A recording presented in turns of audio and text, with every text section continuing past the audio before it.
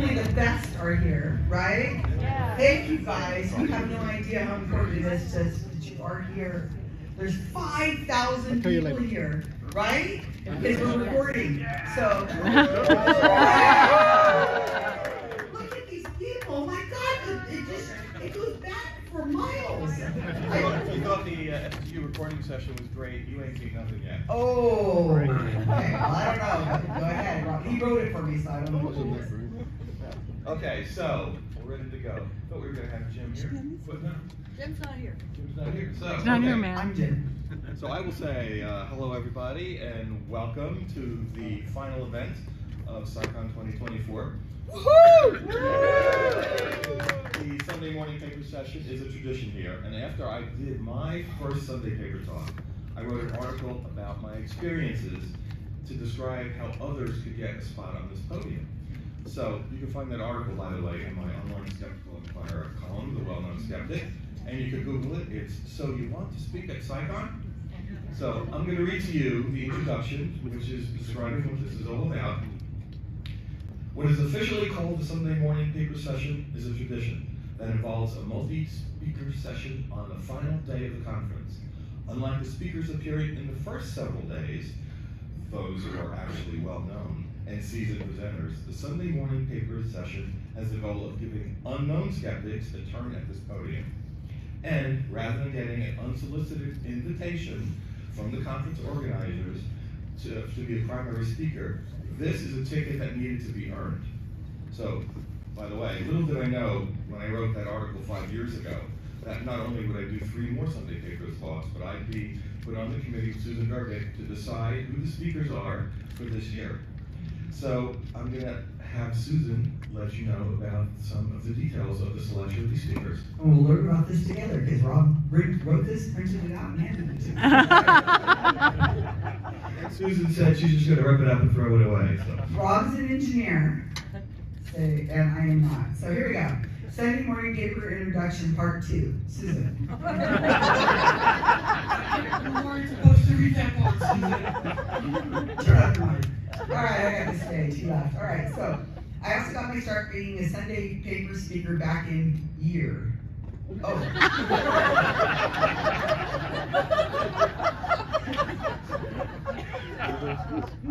Uh, it's been a while. I don't remember. Okay. And I always thought this session was one of the highlights of CSICon. That is true. Yes, absolutely. It is the highlight. When they put Rob and me in charge this year, we decided to update the selection process a bit. So now let me tell you what the six people giving talks this morning had to do to go through to be here. Okay, now let me let me add to that just really quick. Let me add a minute. So we were voluntold, not put in charge, and um, that's cool. I was I was all for it because I love the paper session. You guys are in for a super treat because this is hard work for these people. It is terrifying for a lot of these people, and I'm telling you, I am so proud of them all. And Rob was amazing to work with. So let me tell you, Kevin and I are and yang. Not that I believe in that stuff, but it is it's he's just very great at details and he's great at timing and he's great at being on time and he holds to task and it's wonderful and he prints out papers for me to read. So, so he's really great to work with and we were on it this year. So um, everything down to the last detail, even including their name tag saying Sunday morning paper to them receiving wine bottles to receiving their their, their names on the website to the slide you're seeing right now is all Rob's work and all his insistence that this happens. So Rob Palmer is awesome. So. And we need Rob Palmers out there. So if you're a Rob Palmer type, please, please see me and I will find you something to do. All right. So first, the Sunday morning paper people, morning paper people, they had to respond to our call for papers by submitting a proposed topic with an outline. Okay, we moved that deadline up way up because we wanted to give them a lot of time to evaluate. We had some great candidates who, and by the way, I can't see anybody. You're just little kind of globy blobs out there, so you're picking your nose, I won't know. Um, so just FYI. But anyway, so. I want to tell you that I did not write that lesson. God, we've known each other a long time now. So, um, anyway, so uh, we had some great candidates. We had to whittle it down and then whittle it down again. But Rob is very like on it, so we were able to, to do that pretty quickly, and we were able to select six great topics. I think, um, and you know, it's not only that the people who submitted said, you know, they didn't have um, the how do I say this? Some of the topics were too similar to other things that have been done in the past or whatever. So, so it wasn't, if somebody submitted, it wasn't just that they couldn't, we didn't think they could do it. It's just that we just thought that that topic probably wasn't appropriate right now, and I will not fall off the stage, I promise. And so, it's like seconds, uh, an inch away from my feet. Okay.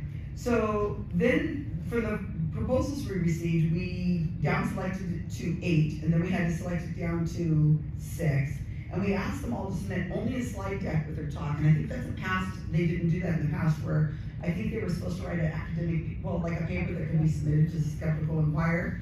So we decided, Rob decided that he didn't like that idea, because he's gone through this process more than I have.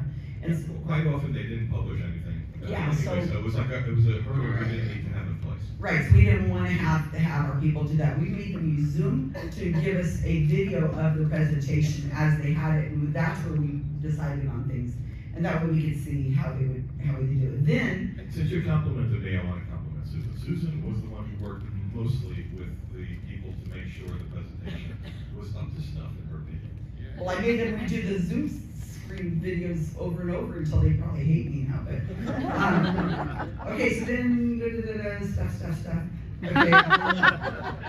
Then we get down to six, and then, yeah, we picked, and then one change was made. Today we have a Q and A session, because what the heck? We're supposed to do this in two hours. And we were like, oh my God, two hours. And I said, let's get 10 people up on stage and give them three minutes each. No, maybe we could do one minute each on stage. We've been 20 people on the screen. And then somebody, Kat McLeod, somebody here, she goes, what are you gonna do that extra hour? I'm like, what extra hour? And she's like, you have three hours. And then I found out that Jim's not here, so we're in charge. So, so Rob and I had this. Okay, let me tell you this thing we're gonna do. Rob's gonna this.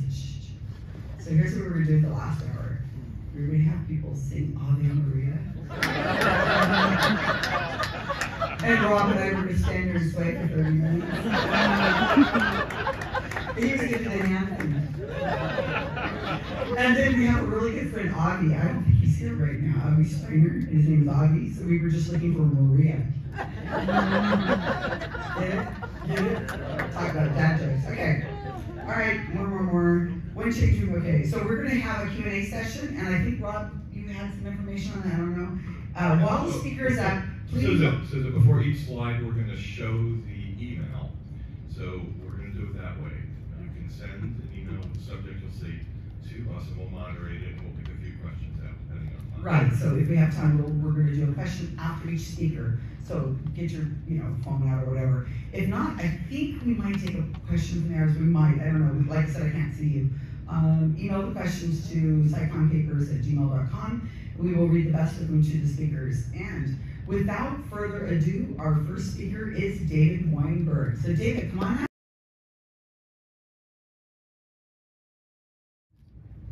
So this is the email to address questions. You are kind of the early out there. All right, first of all, I, I realized I slightly changed the title of my talk between submission and actual execution, so I, my apologies.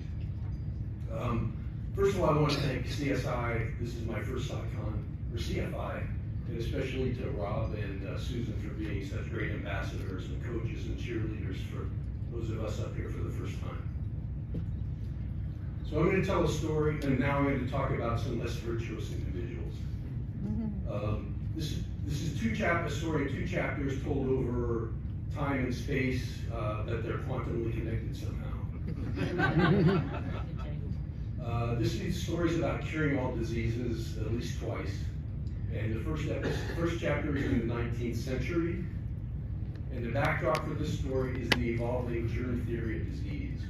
And by the middle to end of the 19th century, germ theory was pretty well established science, but it took a long time. It was almost 50 years before penicillin became available. So antibiotics were sort of the ultimate reward of germ theory. At least that's what they want you to believe. What's not taught in history classes or science classes that in 1886, this man actually cured all diseases, and he told us he did. This man is named William Radam. He was a gardener from Austin, Texas. And he wasn't a scientist, he didn't have any formal training in science or microbiology, but he was a super fan of germ theory. And he had this very promiscuous interpretation of germ theory. He determined that all diseases were caused by microbes. And his gift to us was his microbe killer, which he patented in 1886. Um, and he claimed that it cured all diseases, and it was a tremendous commercial success. Now, how do I know about this? Well, I collect antique medical artifacts, and this is a picture of some of my collection. And his bottle, bottle is highly desirable among collectors, largely because of the images that's embossed on the bottle. It's a little easier to see in the print ad on the, on the right side of the screen. It says Microbe Killer, and his logo is our hero in mortal combat with the Grim Reaper, and the tagline, the humble tagline, cures all diseases. Um, Clearly, Mr. Radam wasn't the only snake oil salesman of his day, but he was one of the most successful. And he was one who leaned most heavily on germ theory. But all good things must come to an end. After about thirty years of a very successful business, which enabled him to move from Austin, Texas to a uh, mansion in Park, in uh, New York, uh, the regulations finally caught up with him. The, the first law to really regulate drugs in the US was the nineteen oh six Pure Food and Drug Act. And more importantly, the nineteen twelve Sherley Amendment, which prohibited false therapeutic claims. And he was found to be in violation, and that was the beginning of the end of his industry, of his business. So now that the, now that, uh, Mr. Radam was silenced by the deep state, it became necessary to cure all diseases again. So there's a 21st century version of this story. And the backdrop this is the emerging uh, story of stem cell science. In the beginning of this century, there were some really important discoveries that made, that added a lot to what we knew about stem cells, but more importantly, enabled scientists to, to manipulate stem cells in ways that they could become therapies for diseases. And there was a lot of excitement and hype about this, including the, the lay press. Almost every periodical had an issue like this one dedicated to the revolution in stem cells. And stem cells were gonna save civilization, they were gonna be the fountain of youth and the cure to many diseases. And stem cells still have great potential, but we're fifteen years later and most of those cures are, still remain ahead of us. Progress has happened, but the science has progressed very slowly. But that hasn't progressed, uh, that hasn't prevented a cottage industry and direct-to-consumer stem cell clinics. Um, and there are many of these, I'll talk about that a little bit later. But this really came to my stark attention in 2017 when this article was published. So thi- this would hit me very close to home. I'm a retina specialist and ophthalmologist, and I see thousands of patients with a disease called macular degeneration. And it's a, it can be a bad disease, and these patients can be pretty desperate. And this, and I, and I happen to know some of the authors who took care of these patients. Um, this patient, this, this article describes three patients that had macular degeneration that sought care for their macular degeneration at a stem cell clinic in Florida. Put things in context, these women did have a diagnosis of macular degeneration, but they had very good vision, they had very functional vision, they had adequate vision to have a driver's license in their home state. They sought clinic, uh, treatment at this clinic in Florida called US Stem Cell. Uh, in Sunrise, Florida. At the time of these events, the chief scientific officer of US Stem Cell was this woman named Kristin Comella. And in the regenerative medicine world, she was somewhat of a superstar. She was a very highly sought after speaker, very lauded as an expert in her field. And she was a very vocal and very persuasive evangelist for stem cells. Despite the fact that she was chief scientific officer for a biomedical company, she had no degree in biology or medicine. At least at that time. She later got a correspondence course. Well, later she got a PhD from Panama. Uh, So this is a partial list of the conditions that they claim to have success in treating. In, in a, uh, interview for a, Uh, webinar called Miracle Cure, she was quoted as saying that stem cells were appropriate for any organ or tissue inside the body that needs healing. So she was kind of stepping on Mr. Radam's toes a little bit here. So what exact, what treatment did these patients receive? Well, US Stem Cell favored a treatment called adipose-derived stem cells. And adipose means fat tissue. So these patients paid their five thousand dollars for treatment. They had liposuction performed, so a big needle was inserted into their subcutaneous belly fat, sucked the fat out into a large syringe. That tissue was processed mechanically and chemically, put in a centrifuge, and a small fraction of that material, known in the, in the industry as stromal vascular fraction, was, was uh, isolated. They then suspended that in a component of the patient's own blood called platelet-rich plasma. So they had a needle stuck into their belly, into their arm, and ultimately into their eye. So this was mixed together, and these, these tissues were processed, but they're not purified.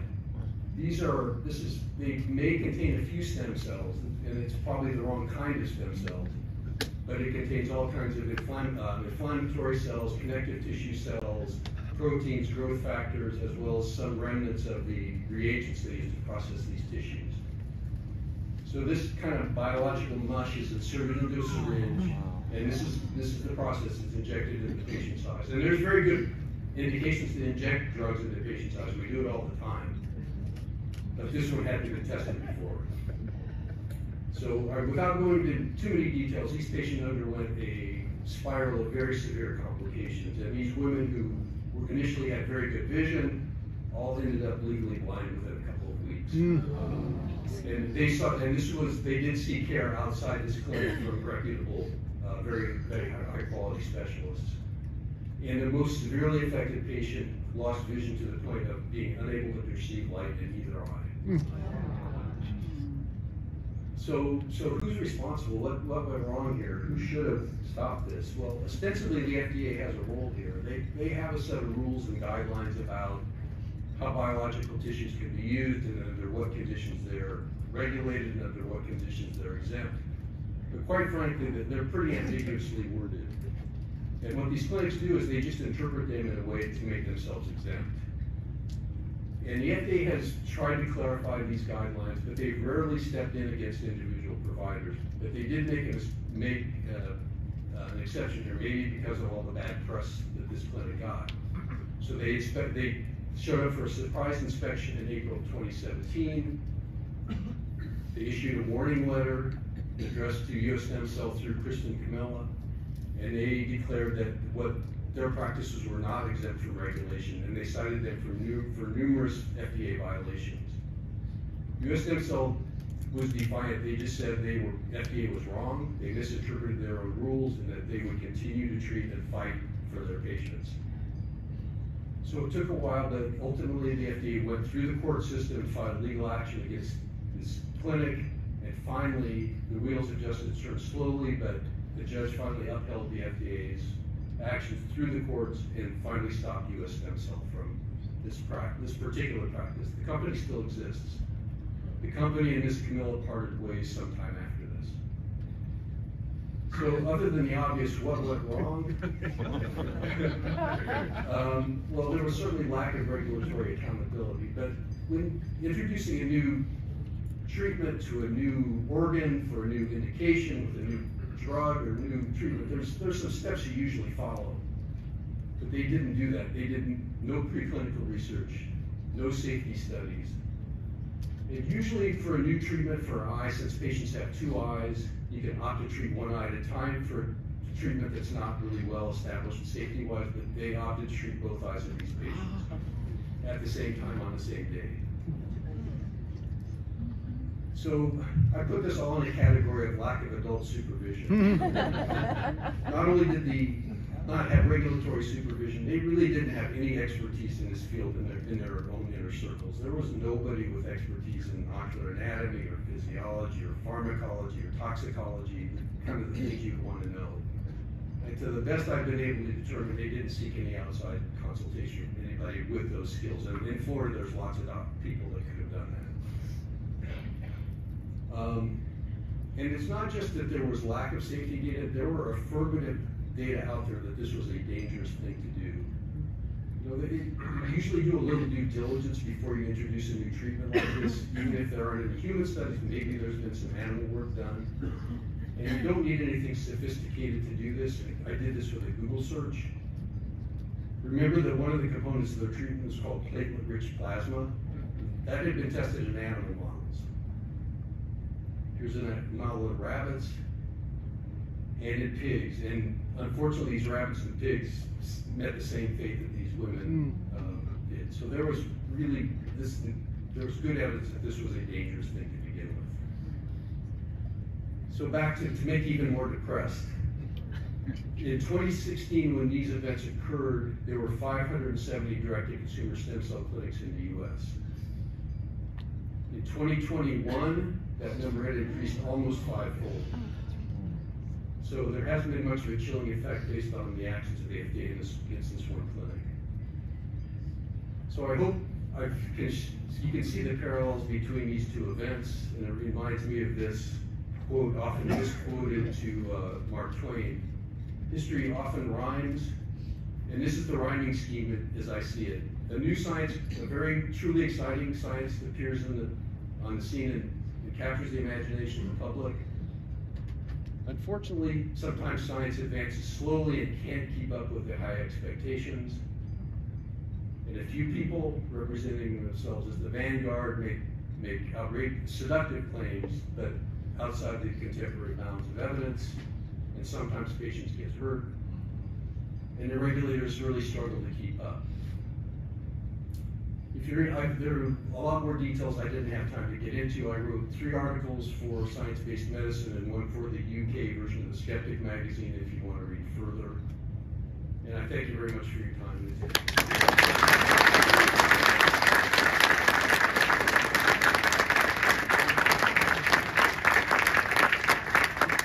Since I, since I did, since I ran a little short, if you're interested in patient-forward information about stem cells, if you have any questions, there are a couple good resources. The International Society for Stem Cell Research has excellent patient, excellent resources available to civilians. And if you're a little more, if you're a little more technically oriented, there's a researcher at UC Davis named Paul Knoepfler, and he's a stem cell researcher, and he's also been a very vocal advocate for ethical and responsible use of stem cells in the clinic and in the, uh, in, in the lab. And he has a newsletter called The Niche. It's got excellent material. It's how I keep up with what's going on in stem cells, both good and bad. And thanks again.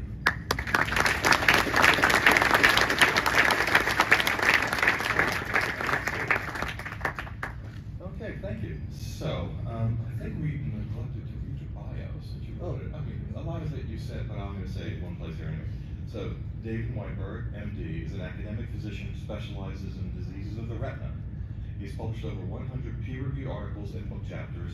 His interest in alternative medicine arose through investigating questions from patients. And he has written for Science-Based Medicine and Skeptic Online magazine as well. So we did get some questions, so let me read, let me read this. So the first one was, how many folks were treated between the FDA inspection and when the company was prohibited from continuing the treatment? I, I don't know the answer to that question. but I- Am I still not there? I don't know the answer to that question. I don't know if that information is available. Okay, in the two-year lag between an investigation being opened and meaningful consequences for Kristin Comella, is that, was that fairly typical, do you know? I think, unfortunately, I think it is, and I, uh, other than the business shutting down, I don't think there were any consequences to her specifically. I mean, the business, um, had to stop what they were doing, but I don't think there were any consequences for her specifically. So do you know if the patients got any justice in court? I know that at least two of the patients that I talked about here went through the court, fi- filed civil actions, and I believe they prevailed, but they're, they're sealed outcomes. Um, and I know there was another case that were from a related practice of a different clinic that sued, and that there were other patients that were harmed as well.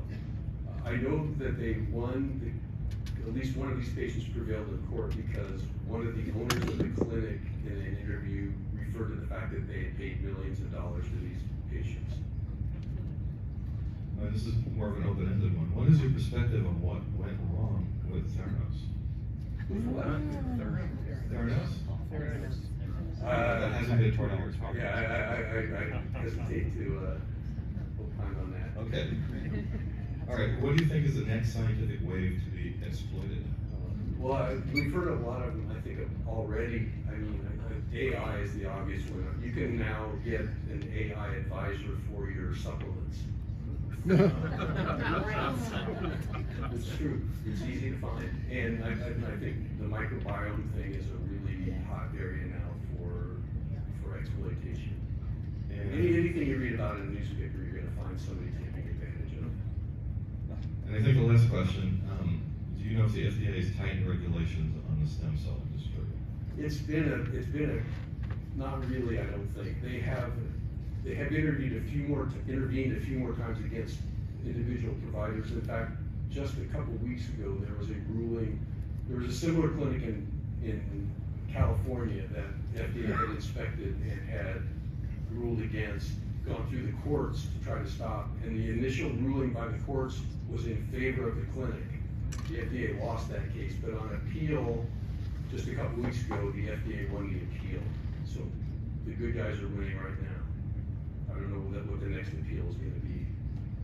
But no, there's been a lot of criticism of the, there's been some criticism of the FDA. Paul Knoepfler, who I mentioned, has been very vocal in his, his critique of the FDA.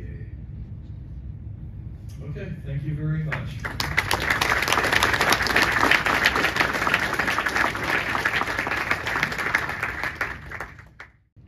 Okay, our next speaker is Bernie Garrett, and why is deceptive healthcare thriving? So, Bernie Garrett is a professor at the University of British Columbia School of Nursing. He's a range of clinical experience from medical and renal nursing practice before he became a nurse educator.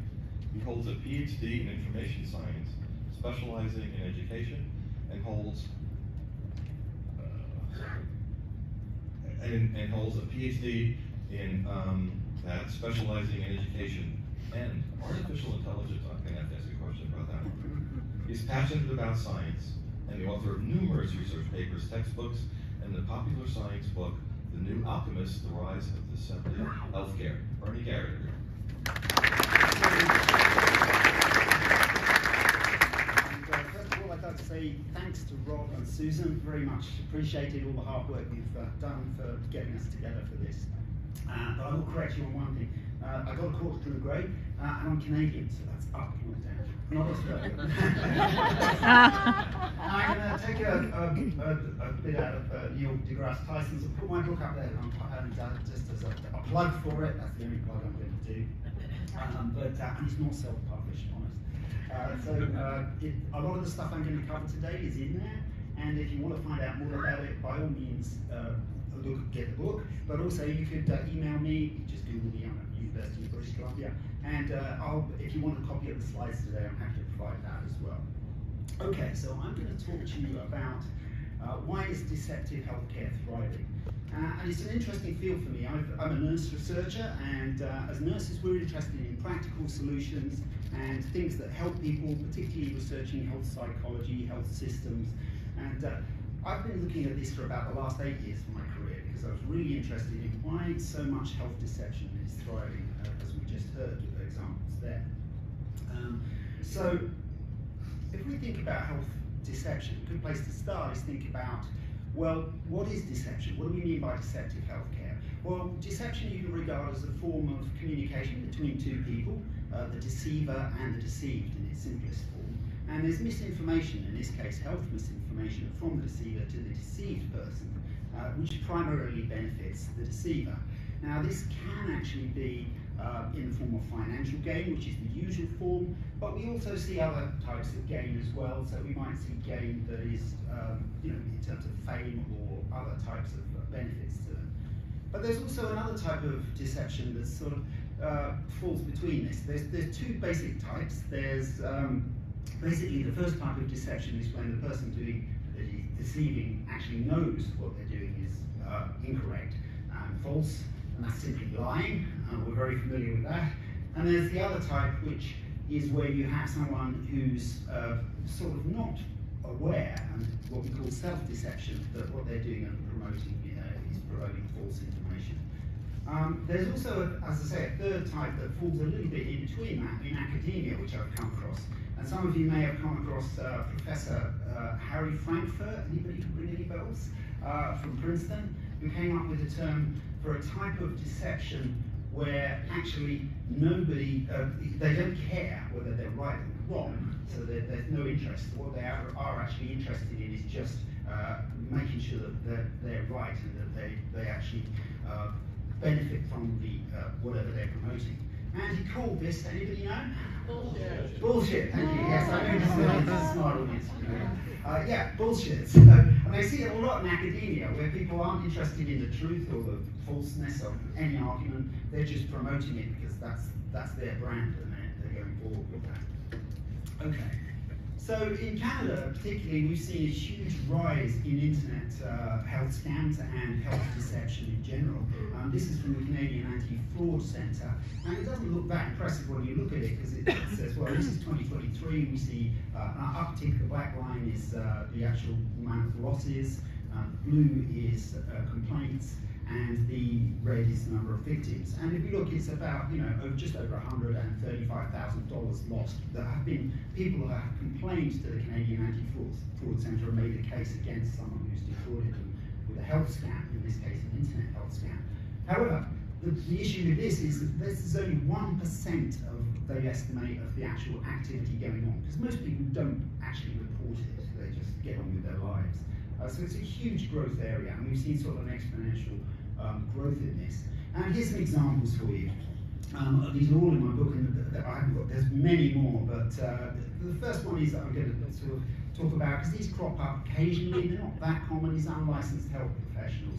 People who are practicing as a health professional with no qualifications. And this guy's one of my favourites, it's uh, Malachi Love Robinson, and uh, he practiced uh, in 2016 uh, in a health clinic and was arrested for practicing under the title of Dr. Love. Uh, as an 18 year old, and he was in a hospital working. Uh, and again, uh, falling back to Neil deGrasse Tyson's uh, game, Florida game, guess which state he was from? yeah, so I don't know what's going on uh, anyway, he, he was in Florida and uh, he was arrested. And he served a prison sentence for that, but was actually released, and I believe he's now been re-arrested for similar issues since then. So there's not a lot of this, but you get a few cases every year. Um, you read about them because they make the media um, of unlicensed health professionals. Um, more commonly, and the ones we're all familiar, familiar with, so I'm not going to spend a lot of time on this, is uh, actual uh, pharmaceutical malpractice and big pharma. Um, you know, everybody loves the but, there have been good reasons. Mean, OxyContin is a particularly uh, classic one, and of course, um, my colleagues will talk afterwards about thalidomide, um, which was in the 1960s, which was again uh, pharmaceutical malpractice because they were promoting a drug which they hadn't adequately tested on the population it was being used for. So massive amounts of legal uh, sort of malpractice suits against uh, pharmaceutical companies, Purdue in this case, um, have taken place. So there's huge amounts of deception involved in there, particularly things like um, off-book prescribing, where drugs that are approved for one purpose are marketed for another, which they're not actually approved for. And then we have substandard medical products. Uh, breast implants is the most common one that most people think about in this category, where you have these the silicon uh, breast implants that uh, over 2 million of them were recalled after they used basically substandard silicon in their production to save costs. Um, so this is pretty grim. Uh, and uh, there's a lot of those as well. Deceptive cancer clinics, yes, Ooh, I know. Yeah. Uh, we just heard an example there. Uh, stem cells is with new activity in this area. But again, there's uh, two classic ones. The most common, uh, we cited uh, the Burzynski Clinic, and uh, this is a, a basically a clinic that promotes the use of a therapy with proteins called anti-neoplastons, which nobody uh, has found to work apart from this clinic, strangely enough. Uh, with Stanislaw with Burzynski uh, uses uh, in his therapies and markets this very effectively, still working in, in Houston and Texas. And this other one is one that's very commonly uh, sort of cited in legal cases, and that's the Hippocrates Health Clinic, which is run by a person called Brian Clemens. Clemens out of, um, again, in Florida, where they used many new age therapies and various other things to kind of cure, cure cancer. In fact, we have a bad example of two kids uh, from First Nations in uh, Canada were sent down there for um, treatment for leukemia against the medical advice, and one of them actually died uh, after that, um, which was very sad. So they have, they, they, they're still running, um, and there's more, as we've seen, coming up. So deceptive clinics, and particularly deceptive cancer clinics, are a booming business. Nutritional supplements, we could spend a whole hour or so talking about these. I'm not going to spend a lot of time on that, but probably the main problem in this area is that they're regulated differently from uh, pharmaceuticals, and so it's pretty much open season. And you see, you know, I see adverts on the TV this morning for various supplements cause, me to lose weight and uh, become super healthy. It's absolute nonsense, as we know. And th- these are interesting as well. Magical health machines. Um, this little beauty is the Genie 9 1000 Pro. And uh, if you'd like to get hold of one of these, it's an orgone generator. Uh, uh, and uh, it's basically a form of uh, electro, uh, it's, it's radionics, you've probably heard of that. It's, it's, it's electro, electrical magnetic uh, energies it's supposed to produce to cure, cure all manner of things. And this one's a thousand bucks if you, you just want to get one. Um, and of course they do nothing. Uh, but there's a lot of magical health machines out there. Promo technology is one of the ways in which deceptive healthcare marketing um, is, is very much uh, used because obviously it sells. Dodgy doctors. Well, there's a lot of those around. Unfortunately, um, Oh, it's not yeah. just the alternative health area. It's we have doctors as well in um, in regular medicine who once licensed to go off on a trip to uh, actually make as much money as they can.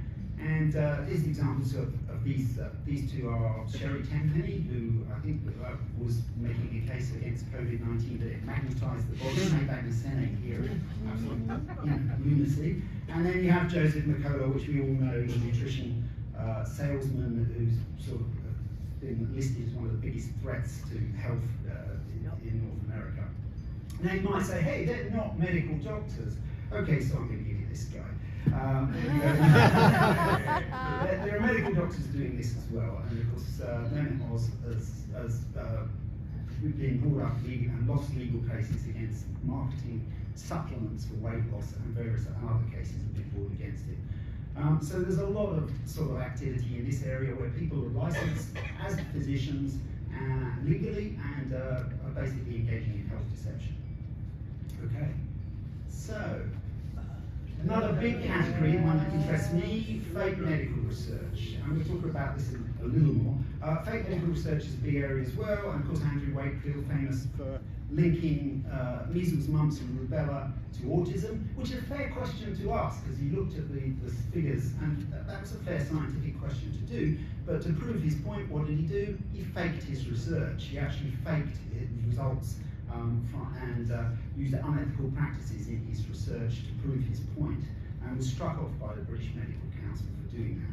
He's over here now.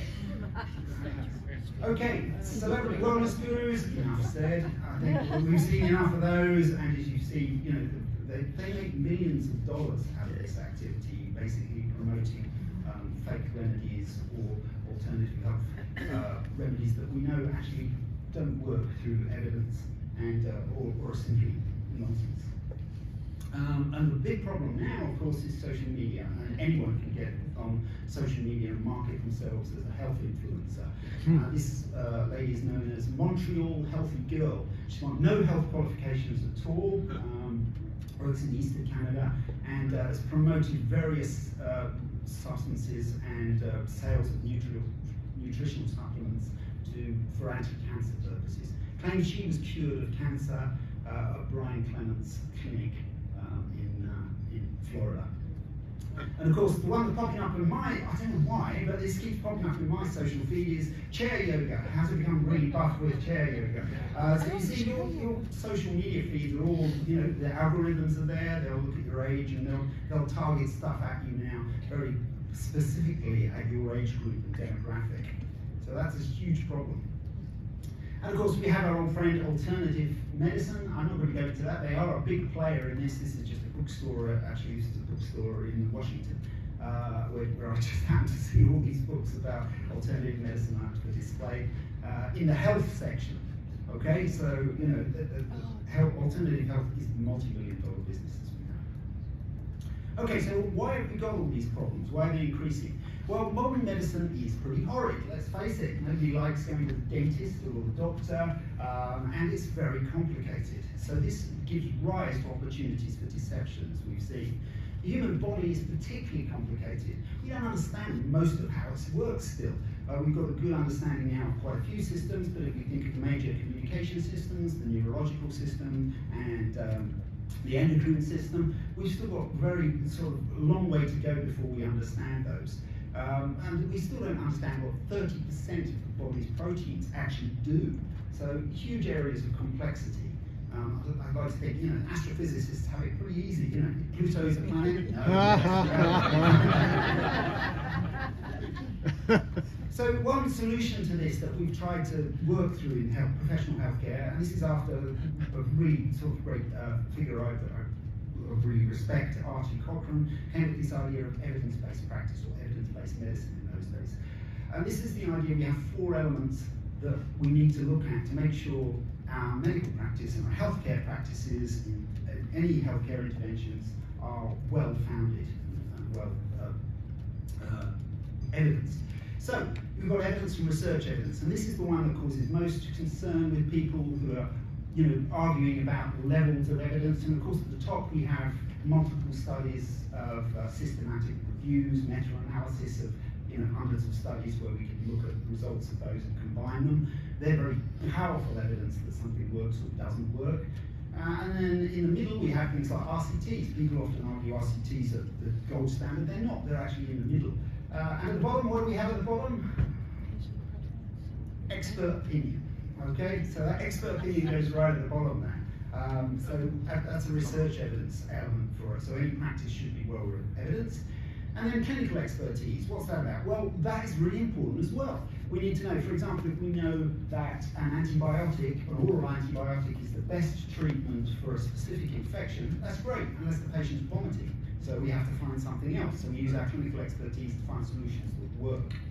Economic viability, of course, if something costs you know half a million per dose, it's not economically viable in our healthcare system to, for mass production.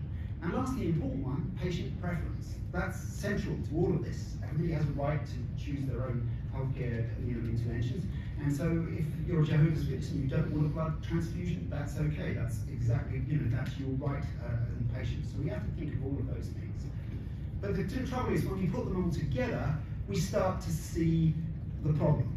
The problem is making any health decision uh, requires all of those things together. Uh, if we've only got one outcome for each of them, which is never the case, simple binary, we've, you've still got 16 possible outcomes that you could have from a combination of, the, of those four things um, to make any single healthcare decision.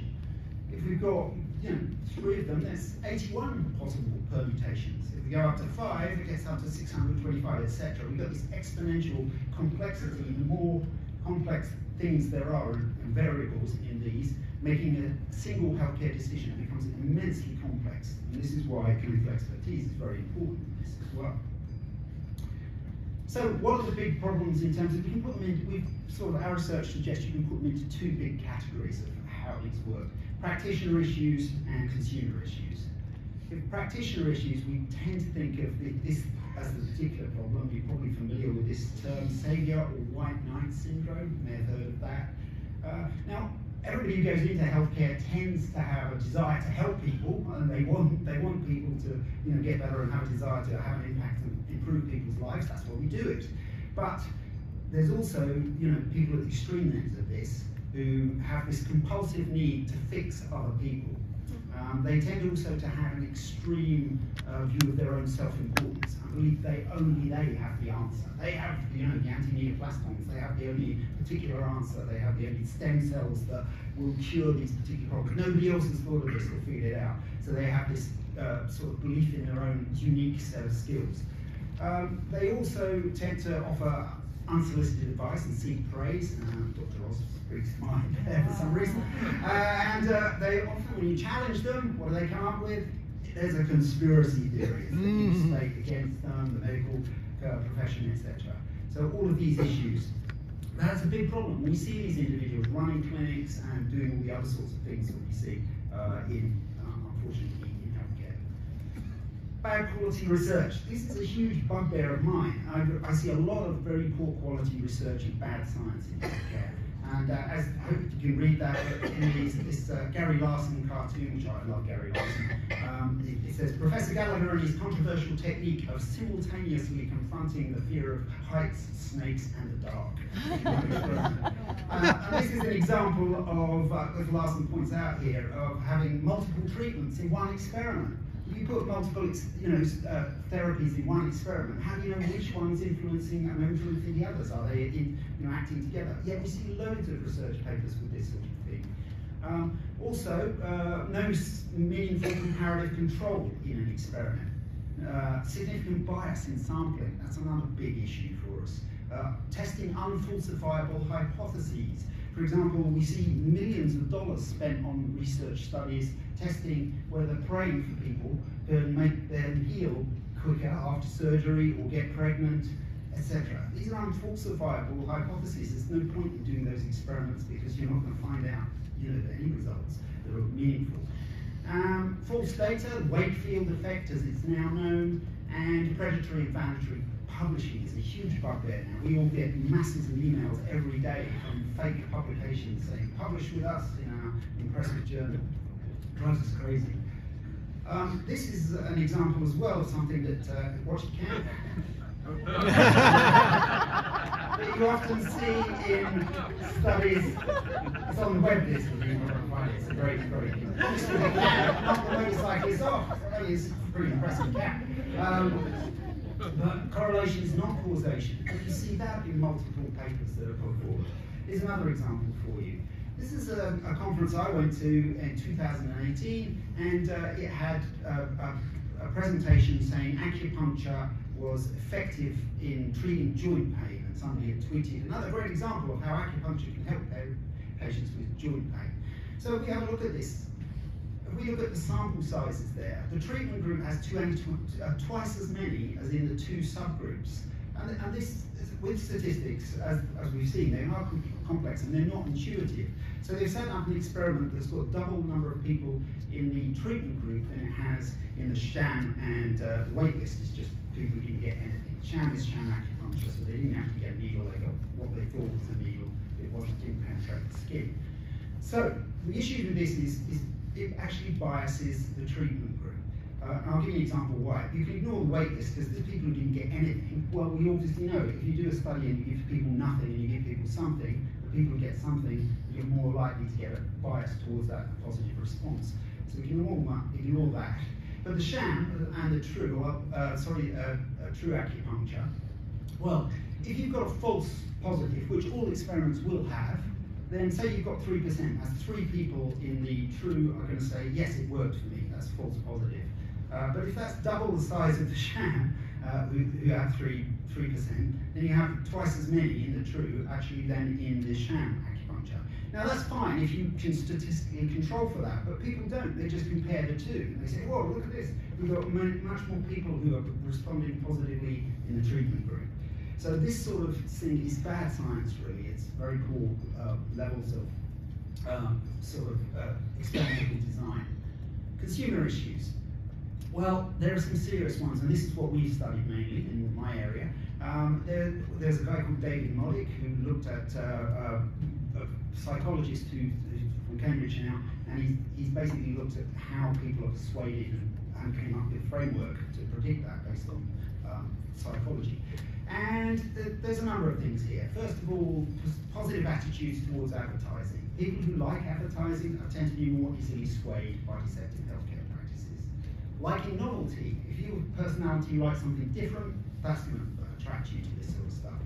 Social influence, that's been a huge one in our studies. We've done some work uh, looking at why people uh, engage in high risk alternative healthcare therapies, and social media is massive in the influence of that.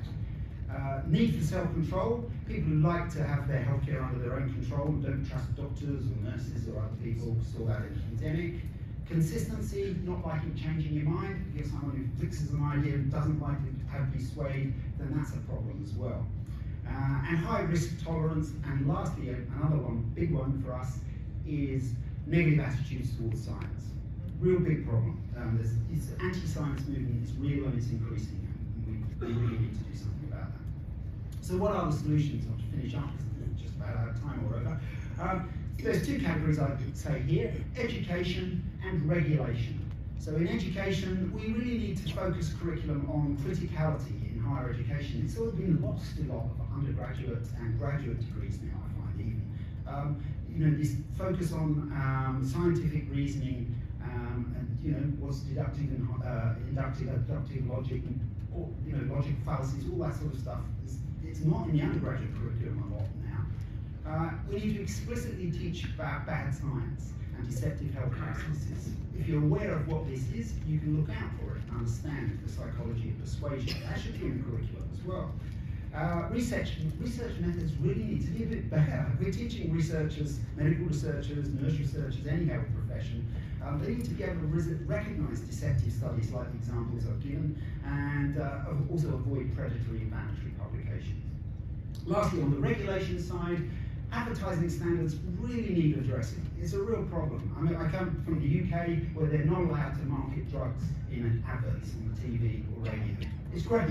You don't see these, uh, you know, uh, fake physicians popping up with, you know, uh, these methods that, and drugs and nutrients they're selling.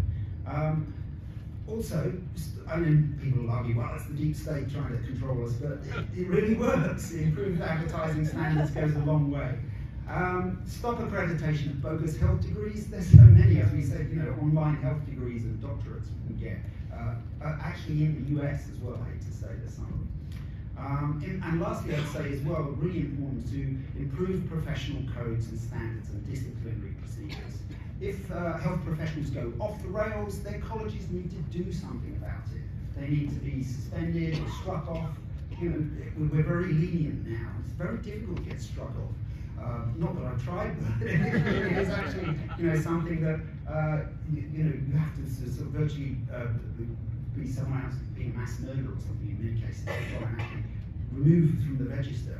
Usually, it's a slap on the wrist and a fine and uh, a year of suspension. So removing problem practitioners from practice early is essential too. Okay, that's me. I'm going to wrap up now. Thank you very much for listening. Uh.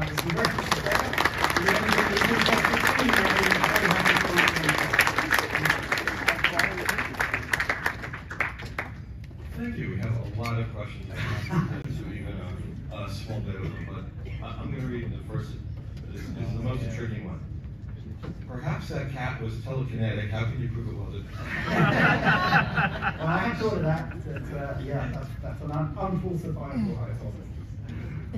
I think they could submit it to the IIG. Yeah. Okay.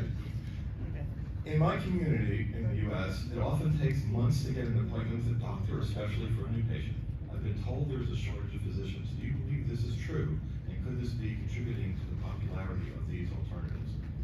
Absolutely, and uh, that's a problem. For us in Canada now, we have, uh, you have in the States, nurse practitioners, uh, we even, even have a nurse anesthetists here. So, you know, using the multidisciplinary approaches, and particularly nurse practitioners who can help in GP, uh, in general practice and primary healthcare is really important. But of course, we need more physicians as well. It's a terrible problem in Canada. Um, we've, got, we've got two medical schools in the whole BC where I come from, uh, and there's a huge shortage uh, of physicians and it does, yeah, it drives people to look at alternatives.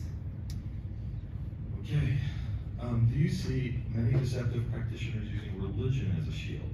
And the person who wrote this says, I've dealt with one whose Texas clinic was aligned with a group called the Pastoral Medical Association, for example. Yeah, yeah, I haven't come across that one, but religious um, ideology as a basis for rejecting medical practices is very common. And uh, again, it is exploited uh, by, by people who are marketing deceptive healthcare. Um, they will tailor it to match particular uh, religious demographics. Okay, a multifaceted question here. I think this will be the last step. What are the highest value, most achievable changes that could be made to address your concerns? I'll let you have that one first. Uh, well, as I say, I think the most high value is um, advertising regulation and better professional regulation because our professional regulatory systems are not most effective. And lastly, I'd also say um, stop licensing uh, alternative health practitioners uh, uh, with independent. Yeah, they need to be, you know, controlled better uh, than just having their own professional license. And the follow-up to that was, are our watchdog institutions in this space adequately staffed to monitor, investigate, and deal with the liars, self-deceivers, and bullshit artists? Yeah, well, I can't speak for the US, but definitely not in Canada. Um, uh, you know, we've got two ways of complaining: advertising standards and uh, anti-competition bureau. And really, you know, they just anybody who's found guilty gets a slap on the wrist and gets their name on the website, which nobody probably ever finds, um, rather than you know serious repercussions and financial penalties. So yeah, absolutely. So, Okay, thank you. Another hand for Bernie Garrett. And then turn it over to Susan, who's going to introduce our speaker. All right, so, uh, great so far, huh? Thank you guys for all showing up. Really appreciate it. This is the best part of. I, I'm a little prejudiced, so that's all right. So our next speaker is Sue Ieraci. She is going to be talking about why would you trust her. No, I'm only kidding. Um, she's an Australian. Oh, and I apologize for calling you Australian. I don't know, instead of calling you um, Canadian, but all right, whatever. Sue Ieraci is an Australian board certified emergency physician who first found the skeptics movement while investigating anti-vaccination groups. She subsequently joined Friends of Science and Medicine and has become part of the broader skeptical movement. Sue spends far too much time on social media and enjoys an argument far too much. And I should point out she is wearing the beautiful uh, Richard Saunders origami earrings today, and she is a wonderful, lovely person. So, Sue, come on up.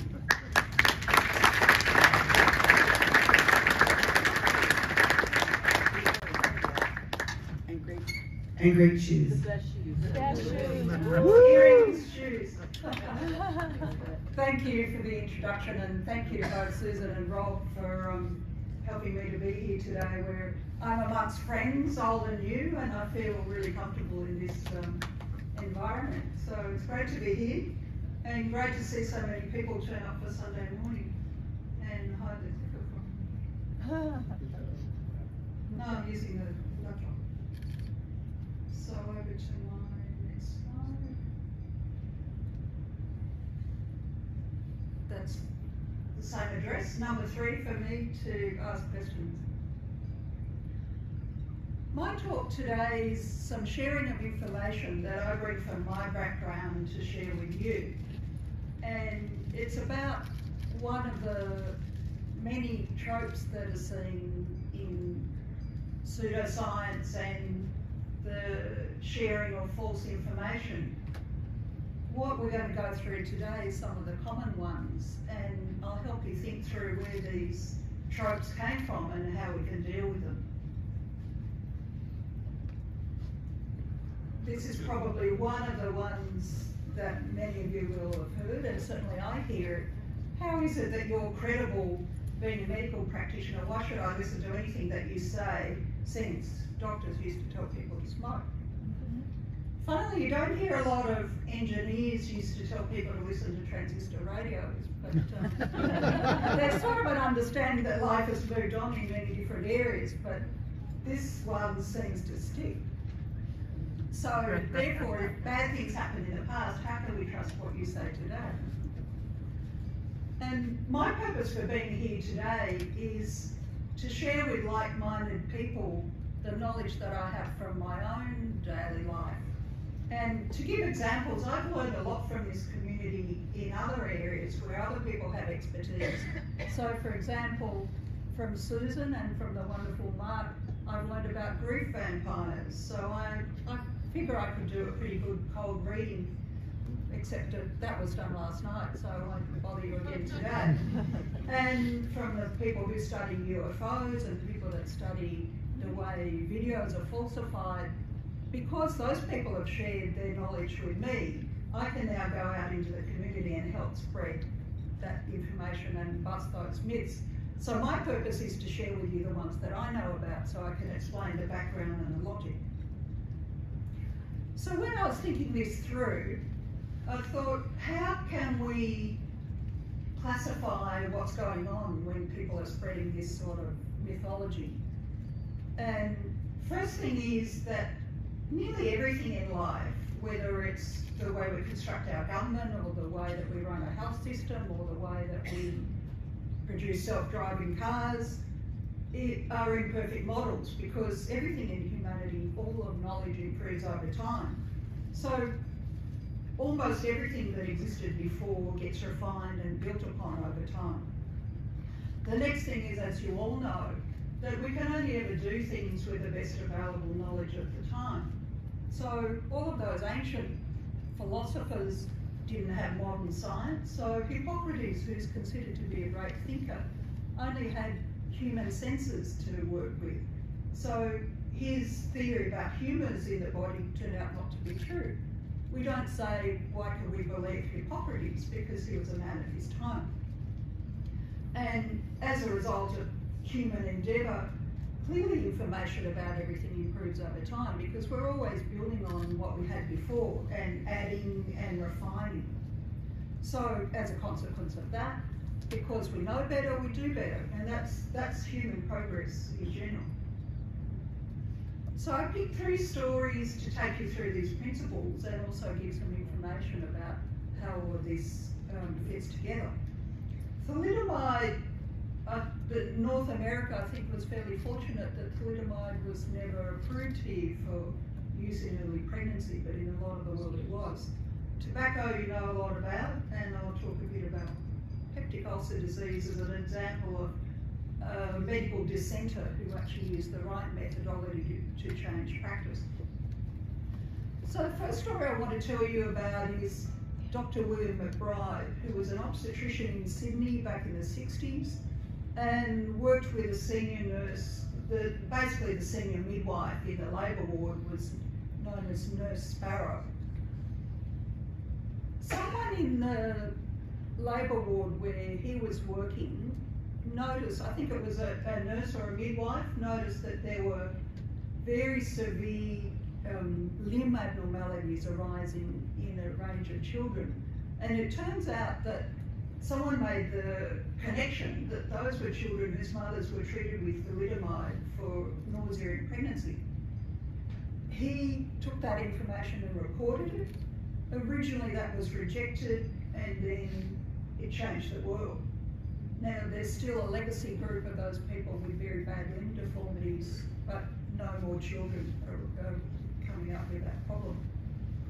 In an unrelated story, McBride went through uh, that unfortunate progress that some medical stars go through, which is to then overinflate his own importance and falsify science. But you can look that one up.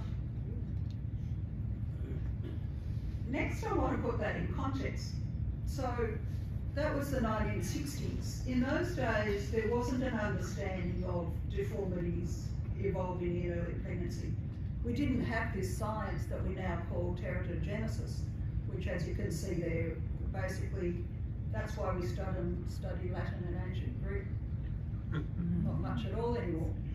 Um, so that's how recent that science is.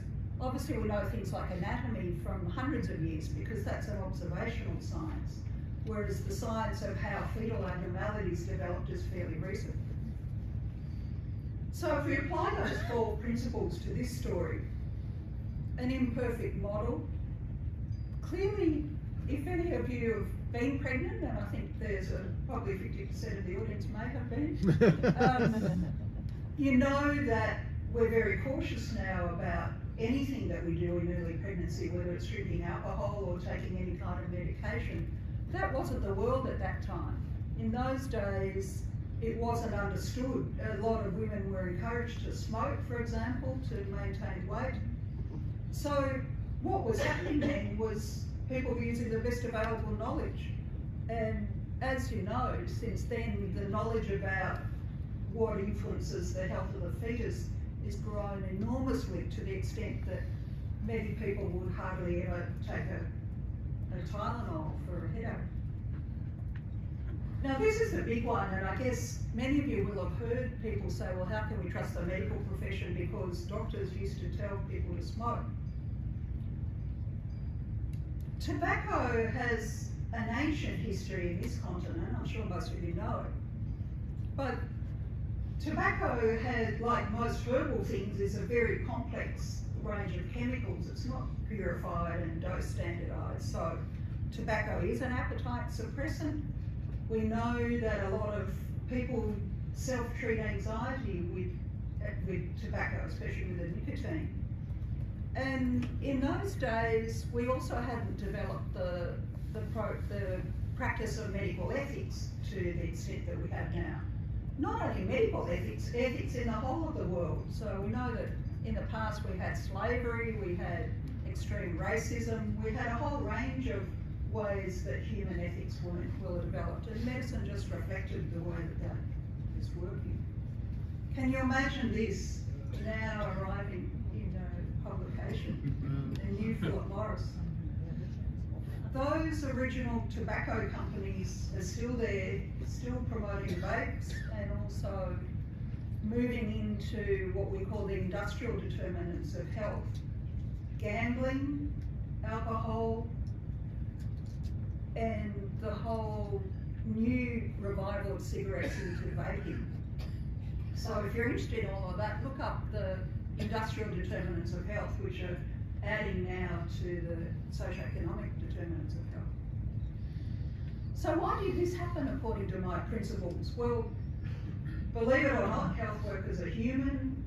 We're subject to influence and bribes and promotion. And that's why medical ethics now stress that people shouldn't be influenced financially or should declare the things that might potentially affect the way they behave.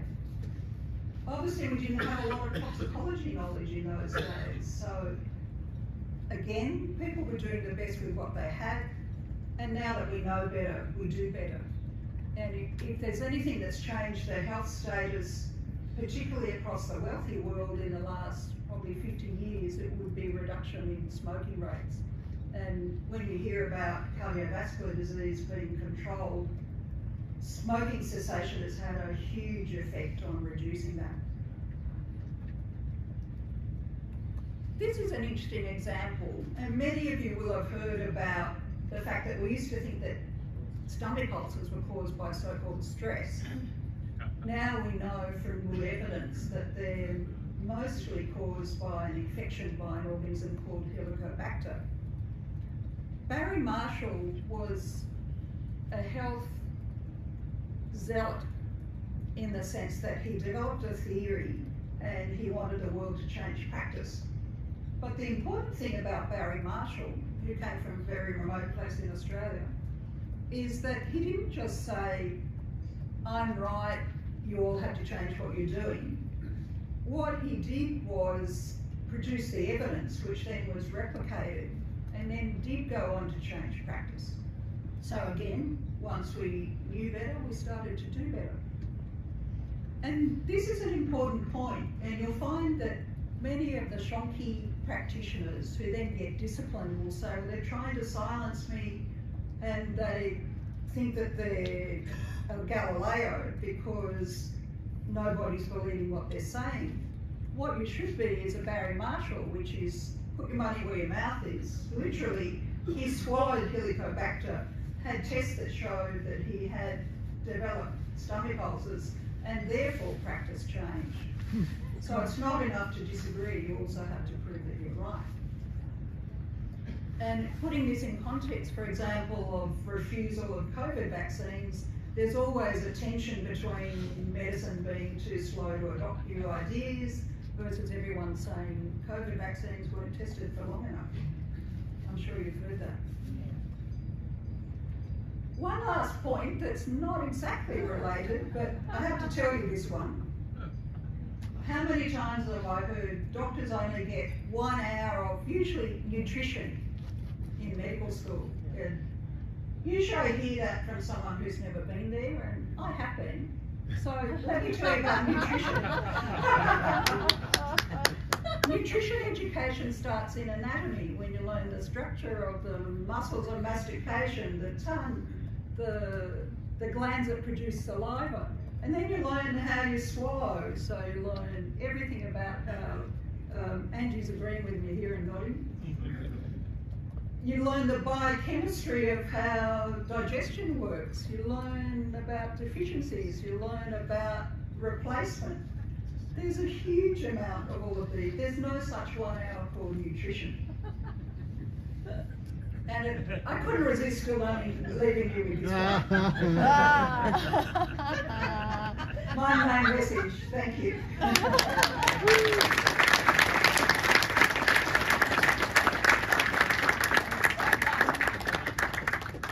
It- The jacket is second-hand from Spain and the boots are from Australia. Thank you so much. All right, so, questions? First question, first question. How, how can we defend science-based medicine when so many pharma- pharmaceutical companies have poor practice?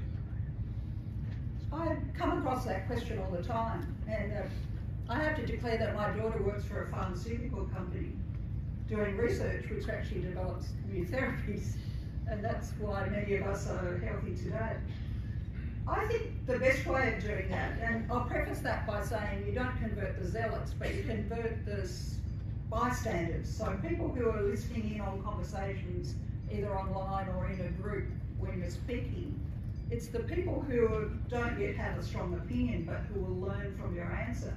And the answer is a combination of what I said about the context, the knowing better, the doing better, and then comparing with other industries. So the fact that someone's, some car gets um, cancelled because the airbags don't work doesn't stop you from driving down the street. And what makes people admire medical advances while simultaneously being suspicious of the entire medical industry? Yes, isn't this beautiful? Um, a friend of mine has a model for this, which is that it's like witchcraft. And there's a sense that because the press tends to report either the bad end or the extraordinarily good end of scientific advances, there's this sort of duopoly that we're held as both angels and devils at the same time. So if you're held to the standard of a new miracle, and surely there are, there are many, many almost miracle advances happening in medicine at the moment. It's like if you then seem to be human and fail, that you're like the angel has fallen. And I think that's why there's that duopoly that medicine's this fantastic miracle science, but at the same time, uh, um, there's suspicion. Okay, thank you very much. It- The jacket is second-hand from Spain and the boots are from Australia. Thank you so much. All right, so, questions? First question, first question. How, can we defend science-based medicine when so many pharmaceutical companies have poor practice? I come across that question all the time, and uh, I have to declare that my daughter works for a pharmaceutical company doing research which actually develops new therapies, and that's why many of us are healthy today. I think the best way of doing that, and I'll preface that by saying you don't convert the zealots, but you convert the bystanders. So people who are listening in on conversations, either online or in a group when you're speaking, it's the people who don't yet have a strong opinion, but who will learn from your answer. And the answer is a combination of what I said about the context, the knowing better, the doing better, and then comparing with other industries. So the fact that someone's, some car gets um, cancelled because the airbags don't work doesn't stop you from driving down the street. Thank you. And what makes people admire medical advances while simultaneously being suspicious of the? Yes, isn't this beautiful? Um, a friend of mine has a model for this, which is that it's like witchcraft. And there's a sense that because the press tends to report either the bad end or the extraordinarily good end of scientific advances, there's this sort of duopoly that we're held as both angels and devils at the same time. So if you're held to the standard of a new miracle, and surely there are, there are many, many almost miracle advances happening in medicine at the moment. It's like if you then seem to be human and fail, that you're like the angel has fallen. And I think that's why there's that duopoly that medicine's this fantastic miracle science, but at the same time, uh, um, there's suspicion. Okay, thank you very much. Doing great on in. And nobody started the wave, so that's great. All right, so Daniel Reed, he's gonna be talking about critical thinking, and the interesting thing about this is when he first pitched this, oh, it's not right on here. When he first pitched this talk to me, um, I was, uh, you know, I, I thought it was great.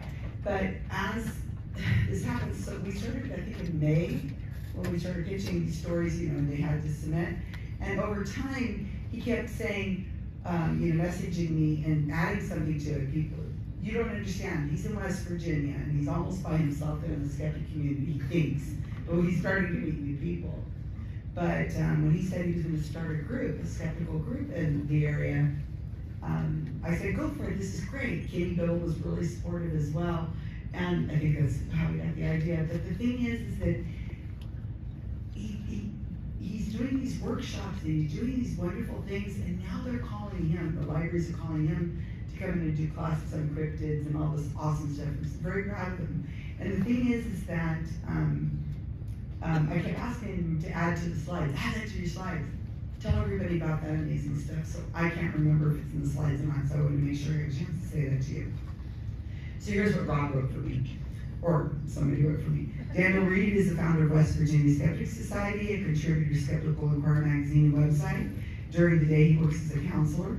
In his free time, you can find him giving lectures around the state on the importance of critical thinking and skepticism, as well as investigating mysteries and strange and unusual.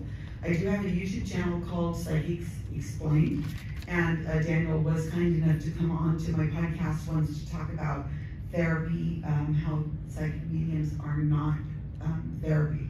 And that was wonderful to have his, his thoughts on that. So if you want to check that out as well. So I give you Reed.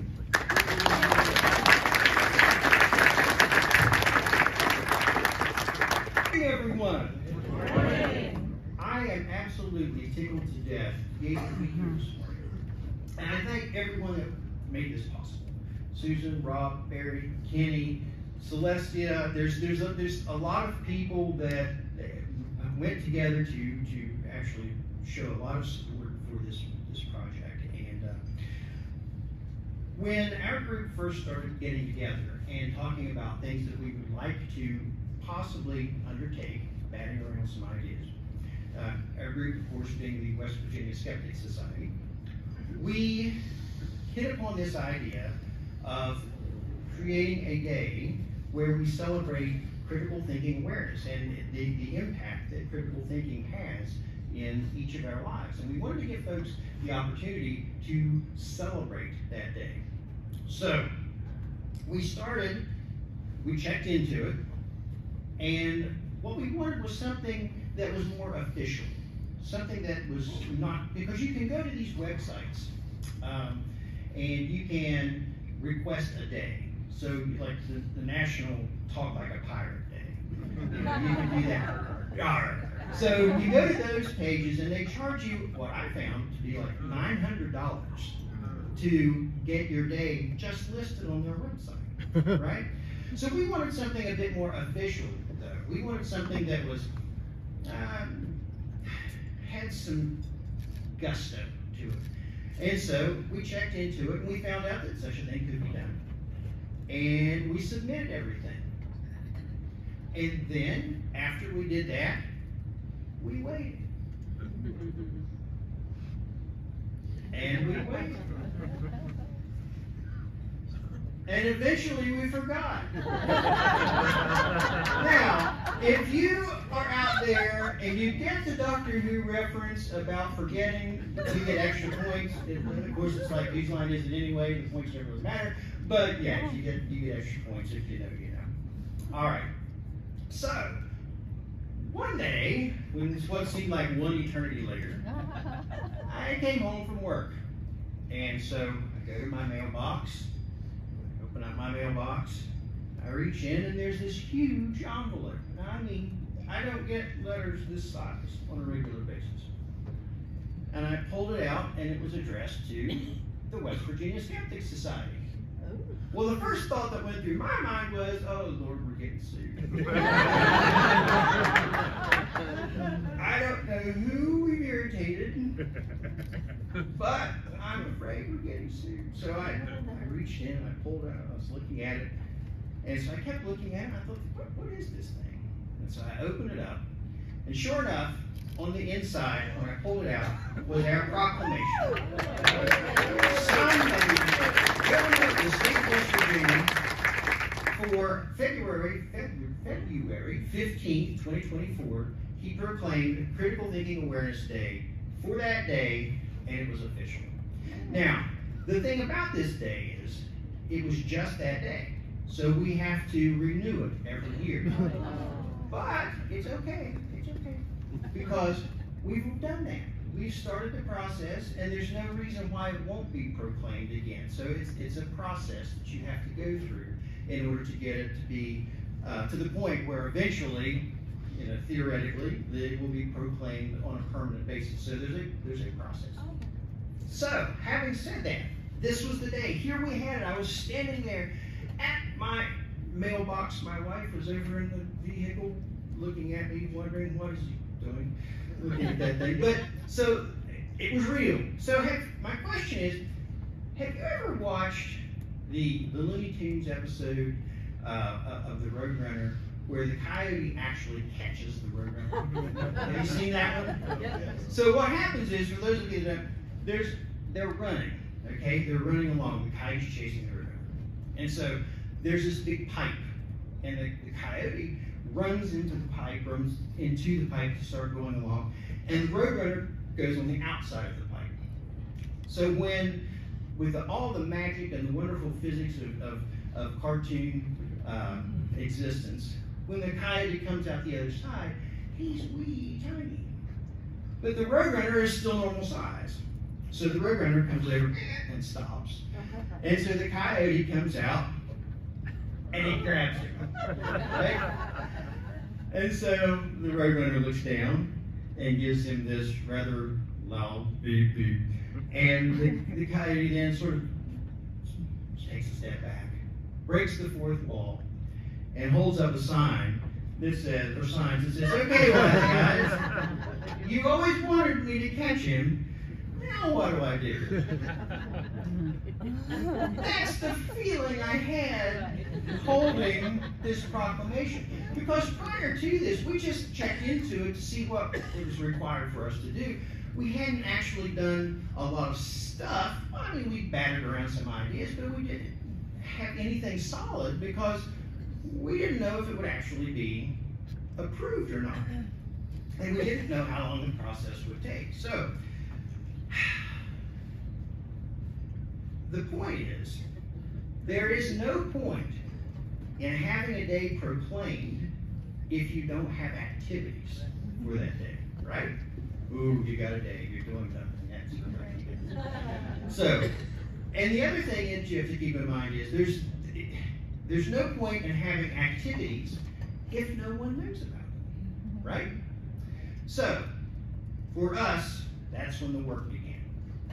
Now, we began looking for resources, things that we could direct people to in order to be able to celebrate Critical Thinking Awareness Day.